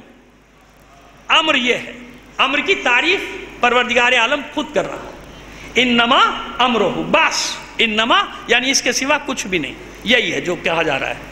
انما امرہ اللہ کا امر یہ ہے کہ جب وہ کسی شے کا ارادہ کرے، ان یقول لہو کن، فیکون، وہ کہتا ہے، ہو جا، ہو گئی۔ یہ کیا ہے؟ امر ربی۔ رب نہیں ہے، امر ربی ہے۔ یہی تو لوگ دھوکہ کھا جاتے ہیں۔ امر ربی ہے بھائی، رب کہاں؟ امر کی تعریف ہو رہی ہے۔ انما امرہو، اللہ کا امر یہ ہے۔ اذا ارادہ شیئن، جب وہ کسی شے کا ارادہ کرے، ان یقول اللہ کن فیکون، تو وہ کہتا ہے، ہو جا، ہو گئی، یہ ہے امر، یہ کیا ہے؟ امر، رب نہیں، امر رب ہے۔ اضافہ ہے نا؟ انما امرہو، اللہ کا امر۔ پہلے بھی بتا چکا ہوں، عربی میں کاکی کے جہاں بھی آ جائیں، یہ اضافت کے لیے ہیں۔ ایسے ہی ہے نا؟ بارگاہ، بھائی کس کی بارگاہ؟ کسی کی بھی ہو سکتی نا بارگاہ اتنے سارے اس شہر میں تو ماشاءاللہ سینکڑوں مزارات ہیں، بڑے بڑے اولیاء اللہ کا مدفن ہے یہ شہر۔ جب تک آپ اضافت نہیں لگائیں گے، پتہ نہیں چلے گا۔ ہے نا؟ کہیں گے بارگاہ حسین کی بارگاہ میری نہیں ہے۔ لوگ اپنی سمجھ لیتے ہیں۔ کس کی بارگاہ ہے یہ؟ حسین، معصومین کی۔ یہ کاکی کے نے بتایا کہ بارگاہ کا اضافہ کس کی طرف ہو رہا ہے؟ معصوم کی طرف ہو رہا ہے۔ اسی لیے کہا جاتا ہے نا، بارگاہ حسین، بارگاہ علی، بار تاکہ پتہ چل جائے، بھائی کوئی دھوکے سے نہ آ جائے، خامہ خواہ میں کسی اور بارگاہ جانا چاہ رہا ہو، یہاں پہ آ جائے۔ لہذا قید لگا دی جاتی۔ کا کی کے؟ اس کا مکان، اس کی گاڑی۔ اضافہ ہے، اضافہ۔ عربی میں اضافت ایسے ہوتی ہے، انما امرہ، امر اللہ یعنی کانا امر اللہ مفعولہ۔ یہ بھی آئے تھے نا، جا بجا۔ اللہ کا امر۔ اللہ الگ ہے، اس کا امر اس کا امر الگ ہے؟ اللہ الگ ہے۔ بس یہ امر کیا ہے؟ امر کی تعریف کیونکہ اللہ نے بتائی، لہذا معصوم نے بھی تشریح کی امر کی۔ اور پھر اس کے بعد اتنی مشکل اور خشک گفتگو کے بعد آپ کو نتیجہ دے دیں گے آج شب قدر کا۔ امر کی تعریف شہزاد امام حسن مجتبہ علیہ السلام مشہور۔ مشہور سوال۔ وہ جو روم کے بادشاہ نے بھیجا، شام اور شام سے پھروایا، یہاں مسجد کوفہ پہنچا، وہ شخص اور اس نے پھر سوال کیا، مولا سے تو مولا نے فرمایا تھا، میرے بچوں میں سے کسی سے پوچھ لو۔ کسی سے، کسی کا نام نہیں لیا۔ یہ احترام تھا بچوں کا آپس میں کہ سب نے بڑے بھائی کی طرف اشارہ کیا۔ ورنہ علی نے حسن کا نام نہیں لیا، یاد رکھیے گا۔ مولا کائنات نے امام حسن کا نام نہیں لیا۔ امام نے صرف اتنا فرمایا کہ میرے بچوں میں سے کوئی بتا دے گا۔ اب ان بچوں میں جناب عباس بھی ہیں نا؟ جناب محمد حنفیہ بھی وہاں بیٹھے ہیں نا، سب بیٹھے ہیں نا، اس لیے میں نے جملے کی تکرار کی کہ علی کے گھر کا ہر فرد۔ یہ الگ بات ہے کہ حسن حسین امام ہے وہ الگ۔ لیکن علم کے معاملے میں تو علی کے بچے ہیں نا بھائی۔ جس کی بیٹی عالم غیر معلمہ ہو، یہی تو بار بار آپ کی خدمت میں عرض کرتا ہوں میں ازادارو کہ یہ کون سا گھرانہ ہے علم کا؟ خبردار! اپنے علم کی میراث کو لٹنے مت دینا۔ جاہلوں کے ہاتھوں اپنی میراث لٹوانا مت علمی۔ تو سنا کیا ہوا؟ امام شہزادے مجتبہ کھڑے اور جلدی جلدی بتا دیتا ہوں۔ سوال کیا تھا؟ وہ دس چیزیں جو ایک دوسرے سے زیادہ طاقتور ہیں وہ بتا دو۔ امام نے جو بتایا، جلدی سے نکل جاتا ہوں، بتاتا ہوں۔ پتھر! اللہ نے پتھر کو بہت سخت بنایا۔ پتھر سے سخت لوہے کو، لوہا اس کو توڑتا ہے۔ لوہے سے سخت آگ کو، آگ اس کو پگلا دیتی ہے۔ آگ سے سخت پانی کو، وہ پانی اسے بجھا دیتا ہے۔ پانی سے سخت بادل کو، جو اس پانی کو ایسے اٹھا لیتا ہے بعد روئی کی طرح۔ پانی کو روئی کے گالوں کی طرح اٹھاتا ہے۔ اس بادل سے سخت ہوا کو بنایا، جو ہوا اسے چلاتی ہے۔ ہوا سے سخت اس فرشتے کو، جو اس ہوا کو بھی چلاتا ہے، اس فرشتے سے بھی سخت ہے۔ موت کا فرشتہ جو اس کی روح قبض کرے گا، موت کے فرشتے سے بھی سخت ہے۔ موت جو اس ملک الموت کو بھی آئے گی۔ آخری اور دسویں چیز جو موت سے بھی سخت ہے، وہ ہے امر ربی۔ وہ کیا ہے؟ وہ کیا ہے؟ امر ربی رب نہیں۔ کیا فرمایا معصوم نے کہ دسویں اور آخری سخت چیز ہے امر امر، اللہ کا امر۔ کہیں معصوم نے اپنا ذکر کیا؟ اپنے بابا کا ذکر کیا؟ پیغمبر کا ذکر کیا؟ تو پھر وہ کہاں گئے؟ کوئی سوال کر لے بھائی، آپ یہ کہتے ہیں ان کے ہاتھ میں یہ، ان کے ہاتھ میں آپ نے تو پوری دس چیزیں گنا دی نا۔ اس میں کہاں ہے معصوم کی طاقت؟ یہی تو راز ہے، آج کی آج کی رات کا راز یہی ہے۔ معصوم نے اپنا نام نہیں لیا اور اللہ بھی نہیں ہے دسویں طاقت، بلکہ کیا ہے؟ امر رب۔ بتا دیا کہ امر ربی کیا چیز ہے؟ کہ جہاں بھی امر ربی ہوگا، وہاں ارادہ الہی ہوگا۔ جہاں امر ربی وہاں ارادہ خدا۔ جہاں بھی یہ امر رب ہوگا، روح بھی امر ربی کی تابع ہوگی۔ کیونکہ روح کیا ہے؟ امر ربی میں سے ہے۔ یسالونکا عن الروح، قل الروح من امر ربی۔ امر ربی میں سے ایک چیز ہے روح۔ تو امر جہاں بھی ہے، روح تابع ہے۔ یہ طے ہو گیا کہ امر ہے ارادہ ربی کا نام۔ اب آئیے سورہ نساء میں۔ کتنی بار وہ آیت آپ نے سنی؟ پھر ایک بار سن لیجیے۔ یا ایوہ الذین آمنوا اتیعوا اللہ و الرسول و اولی الامر منکم۔ اے مومنو، اللہ کی اطاعت کرو، رسول کی اطاعت کرو اور صاحبان امر کی اطاعت کرو۔ جب امر کو نہیں سمجھا تو اولی الامر کو کہاں سے سمجھیں گے یہ؟ یہ سیدھے سادے لوگ۔ بس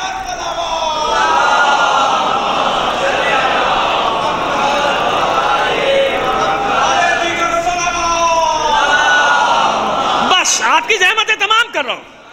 بس نتیجے کی طرف آ رہا ہوں۔ اتنی لمبی تمہید باندھی تھی ایک نتیجہ دینے کے لیے۔ اب وہ نتیجہ دینے جا رہا ہوں۔ اب معلوم ہو گیا اولی الامر جب تک امر کی تعریف نہ پتا چلے اولی الامر کا کیسے پتا چلے گا؟ کیونکہ ہمارے دوستوں نے امر کی تعریفی میں ڈنڈی مار دی۔ لہذا اولی الامر میں بھی ڈنڈی مارنا ضروری تھی۔ بلکہ نہیں اولی الامر میں ڈنڈی مارنا تھا۔ لہذا امر میں بھی ڈنڈی ماری۔ جانتے تھے، کہہ دیا جو بھی حاکم ہے اولی الامر ہے۔ یہ ہمارا اولی الامر ہے جو بیٹھا۔ اس سے پہلے والے ہمارے اولی الامر تھے۔ تمہارے ہوں گے۔ دیا تمہارا اولی الامر ہوگا، ہمارا تو نہیں تھا۔ اب اولی الامر ہے جو حاکم بیٹھ جائے بنی میاں بیٹھ گیا اولی الامر۔ بنی عباس بیٹھ جائے اولی الامر۔ شاید اسی طرف جا رہے ہیں۔ اسی طرف یہ پھر جا رہے ہیں دوبارہ اولی الامر. اب کس کو بنا رہے ہیں اولی الامر اپنا؟ مجھے انگلش نہیں آتی. نام آپ بتا دیجیے. کیا بات ہے، کیا ہے؟ دیکھو، بچے، بچہ، سمجھ گیا نا؟ سچ یہ ہے جو دل سے نکلتا ہے. ان کے لیے اولی الامر کون ہو گیا اب؟ ناچ رہے ہیں، اس کو بلا بلا کے آ گیا بھائی. سب سے بڑی طاقت آ گئی، سب سے بڑی طاقت آ گئی. نہیں نہیں. پہلے امر کے معنی کو تو سمجھو. امر ہے ارادہ ربی. اور صاحب امر کون جس کے پاس یہ ارادہ ہو؟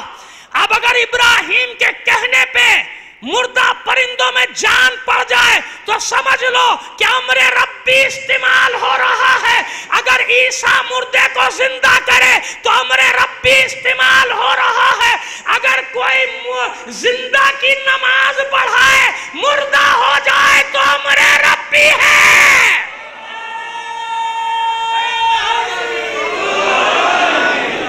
کیا ہے امر ربی تو بس ختم کیا میں نے، تنزل الملائکت والروح فیہا بیزن ربہم من کل ام یہ وہ رات ہے جس میں ملائکہ بھی آ رہے ہیں، روح بھی آ رہی ہے، ہر امر کو لے کر آ رہے ہیں۔ یہ امر کہاں جا رہا ہے؟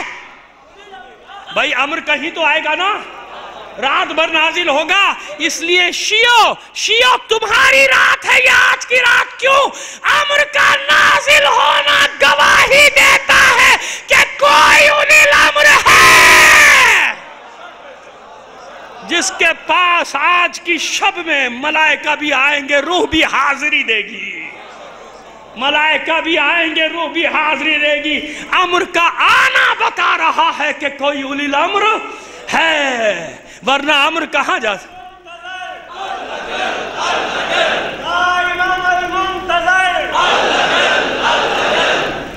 اتنی بلند آواز سے ایک سلوات بھی نائت فرما دیجیے گا محمد آل محمد پر۔ سمجھ میں آگئی بات؟ اس لیے میں نے کہا تھا نا کہ شب قدر کو بدنصیب ہے وہ، جو اس شب کے کسی پہر سے، کسی حصے سے فائدہ نہ اٹھا سکے۔ تمہاری رات ہے یہ۔ ہر امر تمہارے مولا کی بارگاہ میں آ رہا ہے۔ مجھے بڑا دکھ ہوا یہاں کی بات نہیں کر رہا، یہاں کی بات نہیں کر رہا، کسی جگہ کی بات کر رہا ہوں۔ مجھے بڑا دکھ ہوا جب مجھے معلوم ہوا کہ آمال کے لیے مسجد کو بند کر دیا گیا۔ خدا کے بندو، تم شیعہ ہو؟ تم مومن ہو؟ کہ لوگوں کو نماز پڑھنے سے روکو؟ کیونکہ تمہارا مقصد حل نہیں ہوگا۔ تمہارے مطلب کی عبادت کی جائے گی یا اللہ کی؟ تمہارے حکم پہ عبادت ہوگی یا امام زمانہ کے؟ یہ شبیں تمہاری شبیں ہیں۔ جن میں امام زمانہ کے حضور تمہارے عمال جاتے ہیں۔ ارے، یہی ہوگا نا؟ دل نہیں لگ رہا۔ یہی ہوگا نا کہ خیال دوسرے آ رہے ہیں۔ کوئی بات نہیں۔ امر کے تقسیم ہونے کی رات ہے آج۔ تقدیروں کے بننے کی رات ہے۔ جب علی الامر تمہارے زمانے کا امام ہے، پھر پرواہ کیوں کرتے ہو؟ انتظار کر رہا ہے، آؤ تو صحیح۔ سجدہ تو کرو، قبول کروانا میری ذمہ داری ہے۔ آؤ آؤ، کچھ آیات تو پڑھو آج کی شب۔ آؤ، کچھ سجدے تو کرو اللہ کی بارگاہ میں، جس نے تمہیں چودہ معصومین کی محبت پہ خلق کیا ہے۔ شیو اس لیے میں نے کہا یہ شب قدر کس کی ہے؟ اصل میں تمہاری ہے۔ امام زمانہ کی رات ہے یہ۔ جس میں ہر امر نازل ہوگا کہاں؟ اولی الامر کے پاس۔ اس لیے دنیا میں کہیں بھی ہوگا، اس کو ملے گا۔ کسی ایرے غیرے کے پاس نہیں آ رہا۔ کسی دنیاوی حاکم کے پاس نہیں آ رہا۔ اس کے پاس آ رہا ہے جو عادل حقیقی کا نمائندہ ہے اور مسند عدالت پر بیٹھا ہے، جس سے تم محبت کرتے ہو۔ جس کی محبت تم اپنے بچوں کو دودھ میں گھول کر پلاتے ہو، جس کے نام کی مالا جپتے ہو اور اپنے بچوں کو بھی اس کی تسبیح سکھاتے ہو جب سے وہ بولنا شروع کریں، شروع کرتے ہیں۔ تاجیل فرما، اجیل اللہ ظہور سکھاتے ہو، نہیں سکھاتے ہو؟ یہ ہے وہ۔ تنزل الملائکت فیہا بیزن ربہم من کل۔ امر کا نزول گواہی ہے کہ کوئی علی الامر ہے۔ جس کے پاس میں نے کہا تھا کیا جملہ اسی پہ ختم کر رہا ہوں، تقدیریں بدلنے کی رات۔ کچھ مقدرات ایسے جو تبدیل نہیں ہو سکتے۔ کچھ مقدرات ایسے ہیں کہ جو مشروط ہیں کہ یہ کرو گے تو یہ ہو جائے گا۔ حالانکہ اس روایت پہ بعض احباب تھوڑا سا چیپی بھی کرتے ہیں، کرنے دیجیے، مجھے پرواہ نہیں۔ لیکن میں آپ کی خدمت میں عرض کروں کہ اولی الامر وہ ہے کہ جس کو اللہ نے امر دیا ہے نا، صاحب امر بنایا، جو تقدیر بدل دیتا ہے۔ اولی الامر کے اشارے سے چاند کے دو ٹکڑے اولی الامر کے اشارے سے سورج پلٹ کر آتا ہے۔ ایسا ہے نا؟ اسے کہتے ہیں اولی الامر اب کسی کی تقدیر میں اولاد نہیں ہے نہیں ہے نا، مگر ایک اولی الامر ہے۔ جس کی مرضی کے لیے قرآن گواہی دے چکا وَمِنَ النَّاسِ مَنْ يَشْرِ نَفْسَهُ ابْتِغَاءَ مَرَضَاتِ اللَّهِ. یہ وہ نفس ہے، ایک نفس نہیں ہے، یہ نہ سمجھے گا کہ صرف علی نے سودا اپنا کیا ہے۔ یہ پہلے پڑھ چکا ہوں کبھی۔ شب ہجرت، علی نے صرف اپنے نفس کا سودا تھوڑی کیا۔ جب یہ شب ہجرت سودا ہو رہا تھا تو انصاف سے بتائیے سلب علی میں گیارہ اماموں کا نور ہے کہ نہیں ہے؟ ہے نا؟ ہے نا؟ لہٰذا یہ سب کا سودا ہے۔ سب کا سودا۔ ہے کلی الامر۔ مرضی الہی وہ بن جائے گی۔ اور آیت پڑھ دوں، اب بھی سمجھ میں نہیں آیا کسی کی تو۔ یا ایتوہ النفس المطمئنہ، ارجعی الى ربک راضیتم مرضیہ۔ یہ راضیتم مرضیہ ہے کیا؟ صرف اللہ راضی نہیں ہوا، بلکہ جو میں دے رہا ہوں، تو بھی راضی ہو جا۔ وہ کیا دے رہا ہے رب؟ رب نے کیا دیا؟ کہ جو تم چاہو گے، وہ اللہ کی مرضی بن جائے گا۔ کیونکہ تم نے وہ چاہا جو اللہ نے چاہا تھا۔ وما تشاؤون الا ان یشاء اللہ یہ چاہتے ہی نہیں، مگر یہ کہ اللہ چاہتا۔ تو اب اگر اولی الامر کسی کو اولادیں دے دے، تو یہ غلط تھوڑی ہوا۔ یہ کیا ہوا؟ یہ اولی الامر کا وہ اختیار تکوینی ہے۔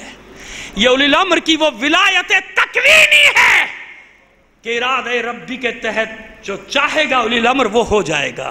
مگر ارادہ ربی کے تحت بہکنا مت شیو کبھی نہ بہکنا، خدا کے لیے نہ بہکنا۔ یہی شیعہ عقیدہ ہے، یہی تشیع ہے، یہی اسنا عشری عقیدہ ہے۔ اس سے آگے کی منزلیں بڑی نازک ہوتی ہیں۔ بہک جاتا ہے، پھر سمجھ میں نہیں آتا اس کی میں کہاں چلا گیا۔ پھر غلط ہے، بہکنا مت۔ یہ سب اللہ نے دیا ہے۔ کس نے دیا ہے؟ کیونکہ ایسے قربانیاں دینے والے کہاں تھے؟ تو اولی الامر کون ہے؟ کہ جس کے پاس نہ ہو دے دے گا، دے دے گا۔ تقدیر بدل دے گا۔ ہر ادھر چلا آئے گا۔ ہر آ گیا نا ادھر؟ ادھر آ گیا۔ نہ معلوم کون سے لمحے کا کون سا سجدہ تھا جو اللہ کو پسند آیا اور الامر کی مرضی سے اس طرف آ گیا۔ آ گیا کہ نہیں آ گیا؟ تو بس آج کی شب بھی امام زمانہ کی بارگاہ میں سارے امر آ رہے ہیں۔ ولی امر ہے کائنات کا۔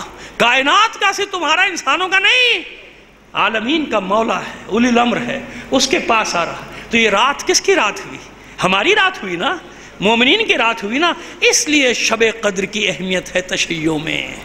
اس لیے شیعوں میں اہمیت ہے شب قدر کی، کیونکہ یہ رات پوری رات امام زمانہ کی رات ہے۔ آ رہے ہیں، ملائکہ جا رہے ہیں، روح آ رہی جا رہی۔ اب ایک بار اور بھی یہی میں نے پڑھا تھا، لیکن کوئی حرج نہیں۔ مصائب سے پہلے ایک جملہ اگر اپنا تکرار کر دوں، دل چاہتا ہے ان ہستیوں کا ذکر کرنے کو، جن ہستیوں پہ اس ملک میں بڑا ظلم ہوا، بڑا ظلم ہوا۔ اور اب تک ہو رہا ہے اور پتہ نہیں کب تک ہوگا۔ خمینی بت شکر سنو اس کا عقیدہ تمہیں بتاؤں۔ عقیدے کی دکانیں کھول کر بیٹھ جانے والوں۔ سب کو عقیدے باتا کرتے ہو۔ یہ کچا عقیدہ، یہ پکا عقیدہ۔ یہ فلاں عقیدے کا، یہ فلاں عقیدے کا۔ اور تمہیں عقیدے کی عین کا پتہ نہیں ہے خود۔ تم بتا رہے بیٹھ کے بنا رہے سنو عقیدہ کسے کہتے ہیں۔ سنو۔ اور صرف اسی سے پڑھ رہا ہوں۔ کتاب اپنے پاس رکھتا ہوں جو پڑھتا ہوں۔ کیا کہتا ہے خمینی؟ کتنا بڑا مولائی ہے سنو۔ اور لیکچر کس کو دے رہا ہے؟ نہ مجھ جیسا پڑھنے والا ہے، بڑی معذرت کے ساتھ دست بستہ عرض کر رہا ہوں۔ نہ کوئی عام مجمع ہے اس کے سامنے۔ جو بیٹھے ہیں نا، وہ سب کے سب مجتہدین بیٹھے ہیں۔ آیت اللہ مشکینی، ان جیسے آیت اللہ جنتی جیسے لوگ، جو خود مشتعید اور مرجے ان کو درس دے رہا۔ اور کیا کہتا ہے خمینی؟ سنو۔ کہتا ہے کہ بیت فاطمہ میں ایک گوشہ ہے، ایک کونا۔ بیت فاطمہ میں پورا گھر کورڈ ہے نا، لیکن سنیے۔ سنیے کیا کہتا ہے خمینی۔ اور کسی میں ہمت نہیں تھی کہ اس کے بات کی، اس کی بات کی تردید کر دیتا، کوئی مشتعید سوالات کرتے ہیں نا۔ در سے خارج میں جب بیٹھے سوالات کیے جاتے ہیں، کسی نے سوال نہیں کیا۔ اور ایسے ہی، اور اسی سے یہ روایت نقل ہے۔ میں نے اور کسی سے نہیں پڑھی۔ وہ کہتے ہیں کہ بیت فاطمہ میں ایک گوشہ ہے، جس کی چھت نہیں ہے۔ حالانکہ چھت پورا گھر کورڈ ہے۔ بی بی کا پورا گھر کورڈ ہے۔ لیکن خمینی فرماتے ہیں کہ بیت فاطمہ کا ایک گوشہ ایسا ہے، جس کی چھت نہیں ہے، بلکہ اس کی چھت عرش الہی ہے۔ کیا ہے؟ یعنی اس گھر پھر فرماتی کہ اس گھر کے مکین براہ راست عرش الہی کا مشاہدہ کرتے اگر میں نام نہ لیتا نا، تو لوگ پتہ نہیں کیا سمجھتے کہاں سے اٹھا کے لیا گڑھ کے روایت پڑھ دی۔ بڑے بڑے مولائی بھی ہل جاتے ہیں ایسی باتوں پہ۔ لیکن تمہیں بتا رہا ہوں، مولائی کہتے کس کو ہیں؟ یہ نہیں ہوتا مولائی کہ میں اپنا حلیہ ایسا بنا کے آ جاؤں، لوگ سمجھیں کہ ہاں بھائی، پندرہ دن سے نہیں آیا، پکا ہے۔ خدا کے بندو مولائی قمبر ہے۔ مولائی عمار یاسر ہے۔ مولائی میسم تمار ہے۔ مولائی حبیب ابن مظاہر ہے۔ مولائی مختار سقفی ہے۔ مولائی مالک اشتر ہے۔ مولائی محمد ابن ابی بکر ہے۔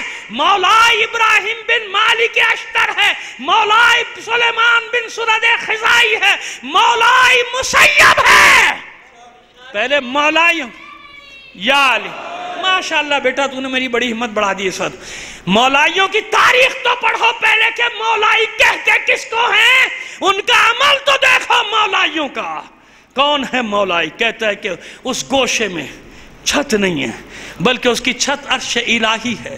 اس فاطمہ کے گھر کے مکین یہاں سے براہ راست عرش کا مشاہدہ کرتے۔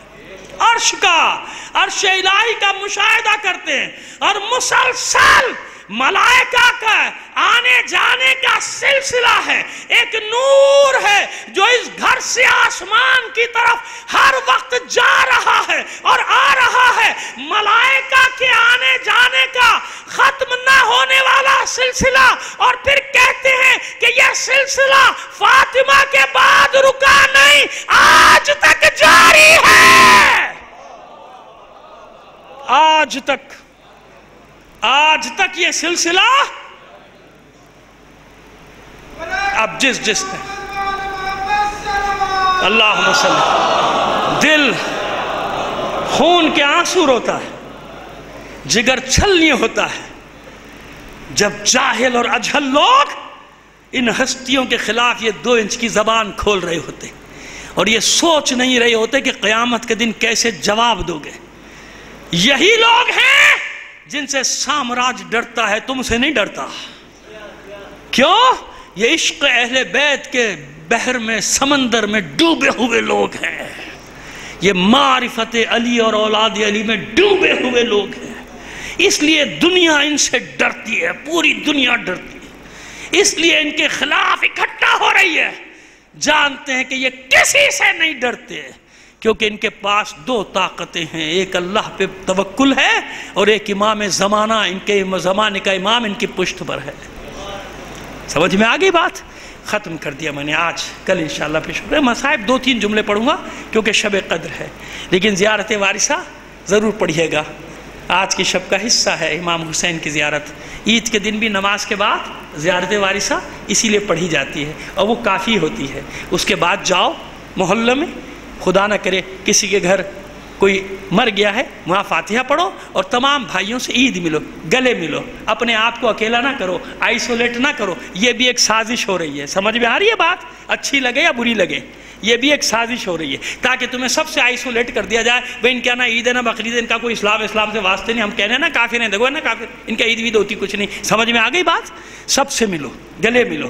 معلوم ہو کیوں؟ یہ وہ دن ہے، ممکن ہے اس کے دل میں تمہارے لیے محبت پیدا ہو جائے۔ ہمارا بھائی ہے، عید ملنے آیا ہے۔ کوئی مر گیا ہے، فاتحہ پڑھنے جاؤ، کس طرح ہوگا لیکن خام خام ایکسٹرا آرڈنری اوور ہو جانا؟ نہیں، یہ چیزیں صحیح نہیں ہے سمجھا دیا، اتنا کافی ہے، مجھے یقین ہے، میرے بچوں کی بھی، جوانوں کی بھی، بڑوں کی بھی سمجھ میں میری بات آئی ہوگی، جو میں کہنا چاہ رہا ہوں۔ وہ یہ چاہتے ہیں کہ ہمیں آئسولیٹ کریں۔ کیا کریں؟ پورے معاشرے سے ہمیں تنہا کر کے الگ کھڑے کر دیں۔ لیکن ہم نہیں ہونے دیں گے، اطمینان رکھو انشاءاللہ۔ صلوات بھیجئے محمد علیہ محمد پر۔ زیارت وارثہ۔ پڑھتے ہیں نا، نماز عید کے بعد کون مومن نہیں پڑھتا؟ پڑھتا نہیں تو سنتا تو ہے نا۔ اسی لیے کہ ہاں ہم نے یاد رکھا ہے حسین، اپنی خوشی میں یاد رکھا ہمارے بچے کی شادی ہوتی ہے۔ بھائی، ہمارے یہاں تو یہی دستور ہے۔ ہمارے جس علاقے سے ہمارا تعلق ہے، اور میں نے اور جگہوں پر بھی دیکھا ہے کہ اگر کل یا پرسوں شادی ہے تو ایک چھوٹی سی مجلس بھی کرتے ہیں گھر میں۔ کرتے نہیں کرتے؟ کرتے ہیں، ٹھیک ہے۔ لیکن اوور ہو جاؤ۔ بیٹے کی بارات لے کر جا رہا ہو، ماتم کرتے ہوئے جاؤ گے۔ کیا کرو گے؟ خدا کو خوف کرو۔ ایسا تو نہیں ہوتا ہے؟ شوال کا مہینہ، شادیوں میں کٹ جاتے ہو نہیں جاتے ہو؟ شادیاں کرتے ہو نہیں کرتے ہو؟ کیوں کرتے ہو بھائی؟ ابھی تو چیلوم ہو ہی نہیں ہے۔ اپنی اپنی مرضی اپنی مرضی چلانی ہے ہر جگہ۔ کیسے مرضی چلانی؟ نہیں، ایسے نہیں ہوتا۔ اس معاشرے میں رہنا ہے، اس جامع میں رہنا ہے، اس سوسائٹی میں رہنا ہے، سب کے حق ادا کرنے۔ ٹھیک ہے؟ آگے نہ بڑھو۔ ائمہ تاہرین نے سے آگے بڑھنے کی کوشش نہ کرو۔ ابھی بھی سمجھ بھی نہیں آئے گا۔ زندگی رہی کسی اور مجلس میں اور تفصیل سے حوالے دے کے سمجھا دوں گا۔ ٹھیک ہے؟ بس۔ بار زیارت وارثہ ہوگی۔ امام زمانہ کے حضور جائے گی وہ۔ امام زمانہ جیسے ہم مجلس میں جب مصائب کے حصے پر آتے ہیں، اپنے سروں سے امامے اتار دیتے ہیں نا۔ بھول گئے تو اور بات۔ اللہ معاف کر دیتا ہے صحب کو۔ صحب کو معاف کر دیتا ہے، کبھی ہوتا ہے، اعتراض نہ کیا کیجیے۔ تو بھائی اس نے فلان صاحب نے مجلس میں اپنی ٹوپی نہیں اتر بھائی بھول گیا ہوگا، نہیں ہوتا، ہو جاتا ہے کبھی۔ لیکن ہے نا، بس اسی طرح میرا یقین ہے کہ جب آپ امام کو امام کا پرسہ دیتے ہیں تو امام بھی اپنے سر سے امامہ اتار دیتا۔ میں نے دیکھا نہیں۔ میں نے نہیں دیکھا، نہ میں نے روایت پڑھی۔ کہہ رہا ہوں بعید نہیں ہے۔ میرا دل کہتا ہے، خوش ہوتا ہوگا امام۔ کہ چلو یہ میرے جد کا پرسہ مجھے دے رہے کتنا بے قرار ہے امام۔ آج جب ساری دعائیں کرنا شب قدر میں ازادارو امام انتظار کرے گا، سب اپنی حاجتیں مانگ رہے ہو، انتظار کر رہا ہوگا، کسی نے مجھے بھی مانگا کہ نہیں مانگا؟ جیسے میں ہمیشہ نیمہ شابان پہ لوگوں سے کہتا ہوں کہ خدا کے بندو، عریضے میں اپنی حاجتیں لکھو، مگر سب سے اوپر حاجتیں لکھو کہ مولا آپ تشریف لے آئیے۔ تو آج کی شب عبادت کرو، جتنی کر سکتے ہو کرو۔ اور زیارت وارثہ کے بعد جب دعا کرو، حسین کا واسطہ دے کے دعا کرو، امام زمانہ کا واسطہ دے کے دعا کرو، معبود اب اس کو بھیج دے جس کا انتظار صدیوں سے کر رہے ہیں۔ اس کو بھیج۔ تو وہ انتظار کرتا ہے کہ کس کس نے مجھے بلایا ہے؟ کون کون مجھے پکار رہا ہے؟ کیا معلوم کس کی آواز پہ آ جائے؟ ہمیں کیا معلوم؟ یہاں تو اللہ کیسوں کیسوں کو کیا کیا منصب دیتا ہے؟ نہیں دیتا۔ کیسے کیسے گناہ گاروں کو ایک رات میں کیا منصب ملتا ہے؟ آپ کے سامنے وہ داستانیں ہیں، تاریخ میں بکھری ہوئی، نہ معلوم کس کی دعا قبول ہو۔ اور امام آ جائے، امام آ جائے، اسی کی تو ضرورت ہے نا۔ سب سے زیادہ جو دعا مانگا کرو، وہ تاجیل ہے، ظہور کی۔ تاجیل فرج امام زمانہ کی دعا مانگا کرو۔ کیوں عزیزو؟ آپ زندگی میں کتنی دیر روتے ہیں امام حسین کو؟ بھائی آپ خود گھر جا کے تقسیم کیجیے گا۔ تین سو پینسٹھ دن میں آپ نے کتنی مجلسیں کی؟ اچھا جی میں نے تین سو پینسٹھ دن میں تقریباً تین سو پینسٹھ کی۔ ایوریج ایک کے ساتھ ایوریج لگایا۔ تین سو پینسٹھ مجلسوں کے کتنے گھنٹے ہوئے؟ تین سو پینسٹھ گھنٹے۔ تین سو پینسٹھ گھنٹے میں مسائب کے کتنے ہوئے؟ کبھی سوچا اس حساب سے جو حساب میں بتا رہا ہوں؟ تو کتنے گھنٹے روئے آپ زندگی میں؟ ایک سال میں؟ نکال لیجیے نا سیدھا سیدھا۔ ایوریج ظاہر روز تو نہیں جاتے مجلس میں سارا سال، لیکن ایوریج رکھ لیجیے۔ کسی دن دو، کسی دن تین، کسی مہینے نہیں، کسی مہینے دس۔ تین سو پینسٹھ مجلسیں کتنے ہوئے؟ تین سو پینسٹھ گھنٹے۔ تین سو پینسٹھ گھنٹے میں پورا وقت تو مصائب نہیں ہوتے۔ رونے کا وقت کتنا آپ کے؟ دس منٹ، پندرہ منٹ، بیس منٹ۔ ٹھیک ہے نا؟ اب حساب لگائیں گے تو آپ کو پتہ چلے کہ وہ ہو میں کتنا رویا؟ اس لیے میں جب آخر میں دعا کراتا ہوں تو کیا کہتا ہوں؟ مولا ہماری اس قلیل عبادت کو قبول فرما۔ کیوں؟ میں کتنا ہی رو لوں، اتنا نہیں رو سکتا جتنا میرا امام زمانہ رو رہا جتنا میرا امام زمانے کا امام اپنے جد کا ماتم کر رہا ہے اور کب سے کر رہا کب سے کر رہا ہر جگہ پرسہ لینے کے لیے دو ہستیاں پہنچتی ہیں، ایک حسین کی ماں، ایک حسین کا بیٹا۔ ہے نا؟ تو بتاؤ وہ کتنا، جب آپ اتنے بے چین ہیں دشمنان اہل بیت کا انجام دیکھنے کے لیے تو جسے انجام تک پہنچانا ہے وہ کتنا بے چین ہوگا؟ وہ امام زمانہ کتنا بے چین؟ آپ کو جب موقع ملتا ہے، زندگی میں ایک بار مجھے موقع ملا، میں پیدل چلا گیا، کون سا کمال کر دیا؟ بوڑھے بوڑھے لوگ، میں نے دیکھے، ستر ستر سال کے لوگ پیدل چلے جا رہے ہیں نا جب سے کربلا۔ میں نے دیکھا معذور ہیں، دونوں پیر کٹ گئے جنگ میں، ویل چیئر پہ چلا جا رہا۔ اور اس سے بھی سخت جو منظر دیکھا، ایک پیر، چلو وہ تو ویل چیئر پہ ہے نا، ایک پیر نہیں ہے، بیساکھی پہ۔ بیساکھی پہ۔ بسرا سے نجف اور نجف سے کربلا، پانچ سو تقریباً، لگ بھگ پانچ سو کلومیٹر پیدل۔ آ رہا ہے۔ سال میں ایک بار، دو بار، زندگی میں بیس بار، پچیس بار، تیس بار، امام زمانہ کب سے آ رہا ہے؟ کب سے آ رہا ہے۔ اور کیا سال میں ایک بار؟ نہیں۔ نامعلوم کتنی راتیں ایسی ہیں سال کی کہ امام کبھی نجف سے کربلا جاتا ہے، کبھی کربلا سے نجف آتا ہے۔ پاپ یادہ پاپ یادہ آتا اس کی کیا کیفیت ہوگی؟ جب وہ جاتا ہوگا جناب عباس کے روزے پر حاضری دینے کے لیے، جب وہ جاتا ہوگا گنج شہیدہ میں، جب وہ تشریف لے جاتے ہوں گے جہاں عباس کا ایک بازو کٹا ہے۔ جب وہ تشریف لے جاتے ہوں گے، جہاں عباس کا دوسرا بازو قلم ہوا ہے۔ ایک اور جگہ بتاؤں آپ کو، بس دو تین جملے۔ ایک اور جگہ بتاؤں جناب عباس کی مصیبت کی۔ اور جگہ کون سی ہے؟ میں بڑا حیران ہوا تھا۔ جب میں پہلی بار گیا تھا، اب تو جگہ مٹ چکی یعنی وہ نشان بتاتے ہیں لوگ، مگر وہ صدام کے زمانے میں پکی سڑک وڑک سب بنا دی گئی۔ تو آپ جنگ کا صرف، آپ کو ہلکا سا نقشہ بتا رہا ہوں کہ جیسے ادھر خیمہ گاہ ہے، جناب عباس جب نکلے ہیں جنگ کرنے کے لیے، تو ایسے گئے۔ ہیں ایسے گھراؤ تھا اور نہر القمہ اس طرف تھی، جدھر اب ہے۔ ادھر گئے، لڑتے لڑتے اور وہاں سے واپسی میں پہلا بازو کٹا ہے، پھر دوسرا بازو کٹا ہے اور پھر اور آگے آئے ہیں۔ پھر واپس جا کے اس جگہ پہ جہاں آج مرکز ہے، وہاں گرے ہیں گھوڑے سے۔ یہ جو تیسری جگہ اس نے مجھے بتائی، یہ عجیب تھی۔ اچھا اس سے پہلے میں سوچتا تھا کہ یہ قدر جہاں ہاتھ قلم ہوا، وہ جگہ آگے ہے۔ اور جہاں امام جہاں میرا عباس گھوڑے سے گرا ہے، وہ جگہ پیچھے کیوں ہے؟ آگے ہونی چاہیے تھی۔ تو عزیزو، ایک جگہ اور ہے عباس کی مصیبت کی۔ جانتے وہ کون سی جگہ؟ جب دونوں بازو قلم ہو چکے تھے، عباس ایڑیاں دیتے جا رہے تھے گھوڑ کو، ایڑ لگاتے جا رہے تھے۔ آگے بڑھ آگے بڑھ۔ اتنا آگے پہنچے کہ ملون نے تیر مارا تھا، پانی بہ گیا تھا۔ وہ جگہ ہے، بتاتے ہیں پرانے لوگ کہ یہ وہ جگہ جہاں مشکیزہ چھلا تھا۔ مشکیزے کا پانی بہنے کے بعد پھر عباس نے رخ موڑا تھا۔ اب واپس چل۔ اب واپس چل۔ اب واپس چل، اب میرے بازو بھی نہیں۔ اب میں پانی کہاں سے لے کر آؤں؟ اس لیے عباس واپس واپس ایڑ لگاتے رہے، واپس فوجوں میں گھستے رہے۔ اس لیے وہ مقام آگے ہے۔ عباس کی شہادت کا مقام پیچھے ہے۔ اس جگہ پہنچے جہاں آنکھ میں تیر لگا۔ اس جگہ پہنچے جہاں باس اتنی عذیت میں تھے کہ کٹے ہوئے بازووں سے جوڑ کر چاہا تیر کھینچے نہ نکال سکے۔ جہاں جھٹکے دے کر چاہا یہ تیر نکل جائے، نہ نکال سکے۔ اس جگہ پہنچے جہاں زانوں کو فضا میں بلند کیا۔ تیر کو درمیان میں لے کر کھینچنا چاہا، نہ کھینچ سکے عباس۔ بس ابھی یہ کوشش کر رہے تھے۔ ایک ملون نے گرز مارا۔ ایسا گرز مارا تھا۔ یہی تو عباس فرماتے ہیں۔ اے پڑھنے والوں اے میری مصیبت بیان کرنے والوں میری سب سے بڑی مصیبت تو بیان کیا کرو۔ ارے، کربلا میں جو گرا، ہاتھوں کا سہارا لیتا تھا۔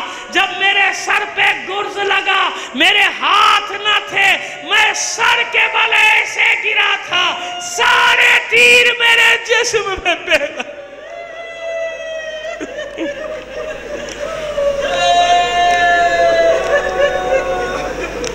اللہ لعنت اللہ۔ على القوم الظالمين. وسيعلم الذين ظلموا أيام منقلب ينقلبون. بار الہ بحق محمد و آل محمد، ہمارے اس قلیل عمل کو قبول فرما لے. اپنی حاجات، اپنے امام زمانہ کے توسل سے تیری بارگاہ میں پیش کرتے ہیں. دنیا میں جہاں کہیں بھی مومنین آباد ہیں، ان کی جان و مال، عزت و آبرو کی حفاظت فرما. عزداران حسین کو اپنے حفظ و امان میں رکھ. جو مومنین نظدار ہونے کے جرم میں شہید کر دیے گئے، انہیں شہدائے کربلا کے ساتھ محشور فرما۔ جو بیمار ہیں، بہت سارے احباب نے اپنے مریضوں کے لیے کہا، خاص طور پہ ہمارے دوست سہیل عابدی صاحب کی والدہ۔ سخت علیل ہیں۔ میری والدہ بھی سخت علیل ہیں، دعا کریں پروردگار، ان کا سایہ میرے سر پہ ہمیشہ سلامت ہے۔ پروردگار، جس کا بھی کہیں کوئی مریض ہے، ان سب کو بحق بیمار کربلا صحت کاملہ و عاجلہ عطا فرما۔ بار الہ تمام مومنین کے جائز حاجات کو پورا فرما دے۔ جو اسیر ہیں، لاپتہ ہیں، خیر سے ان کو ان کے گھروں تک پہنچا دے۔ معبود، دنیا میں جہاں کہیں بھی مومنین باطل قوتوں سے برسر پیکار ہیں، انہیں فتح و نصرت عطا فرما۔ دشمنان اسلام، دشمنان اہل بیت، دشمنان پاکستان کو شکست فاش سے دوچار کر۔ تاجیل فرما ظہر امام زمانہ میں۔ آج شب عمال جو بھی کریں گے، ایک دوسرے کو دعا میں یاد رکھیے گا۔ اس حقیر کو بھی دعا میں یاد رکھے گا۔ نامعلوم کس کی دعا، کس کے حق میں قبول ہو جائے، پروردگار۔ تمام مومنین کو آج آج کی شب کی برکتیں، نعمتیں، رحمتیں سمیٹنے کی توفیق عطا فرما۔ وما علینا الا البلاغ۔ اور آج کی شب اپنے تمام مرحومین کے لیے فاتحہ پڑھنا، اس وقت بھی نہ بھولیں، بعد میں بھی نہ بھولیے گا۔ ایک فاتحہ سب کے لیے پڑھ دیجیے۔ بسم اللہ۔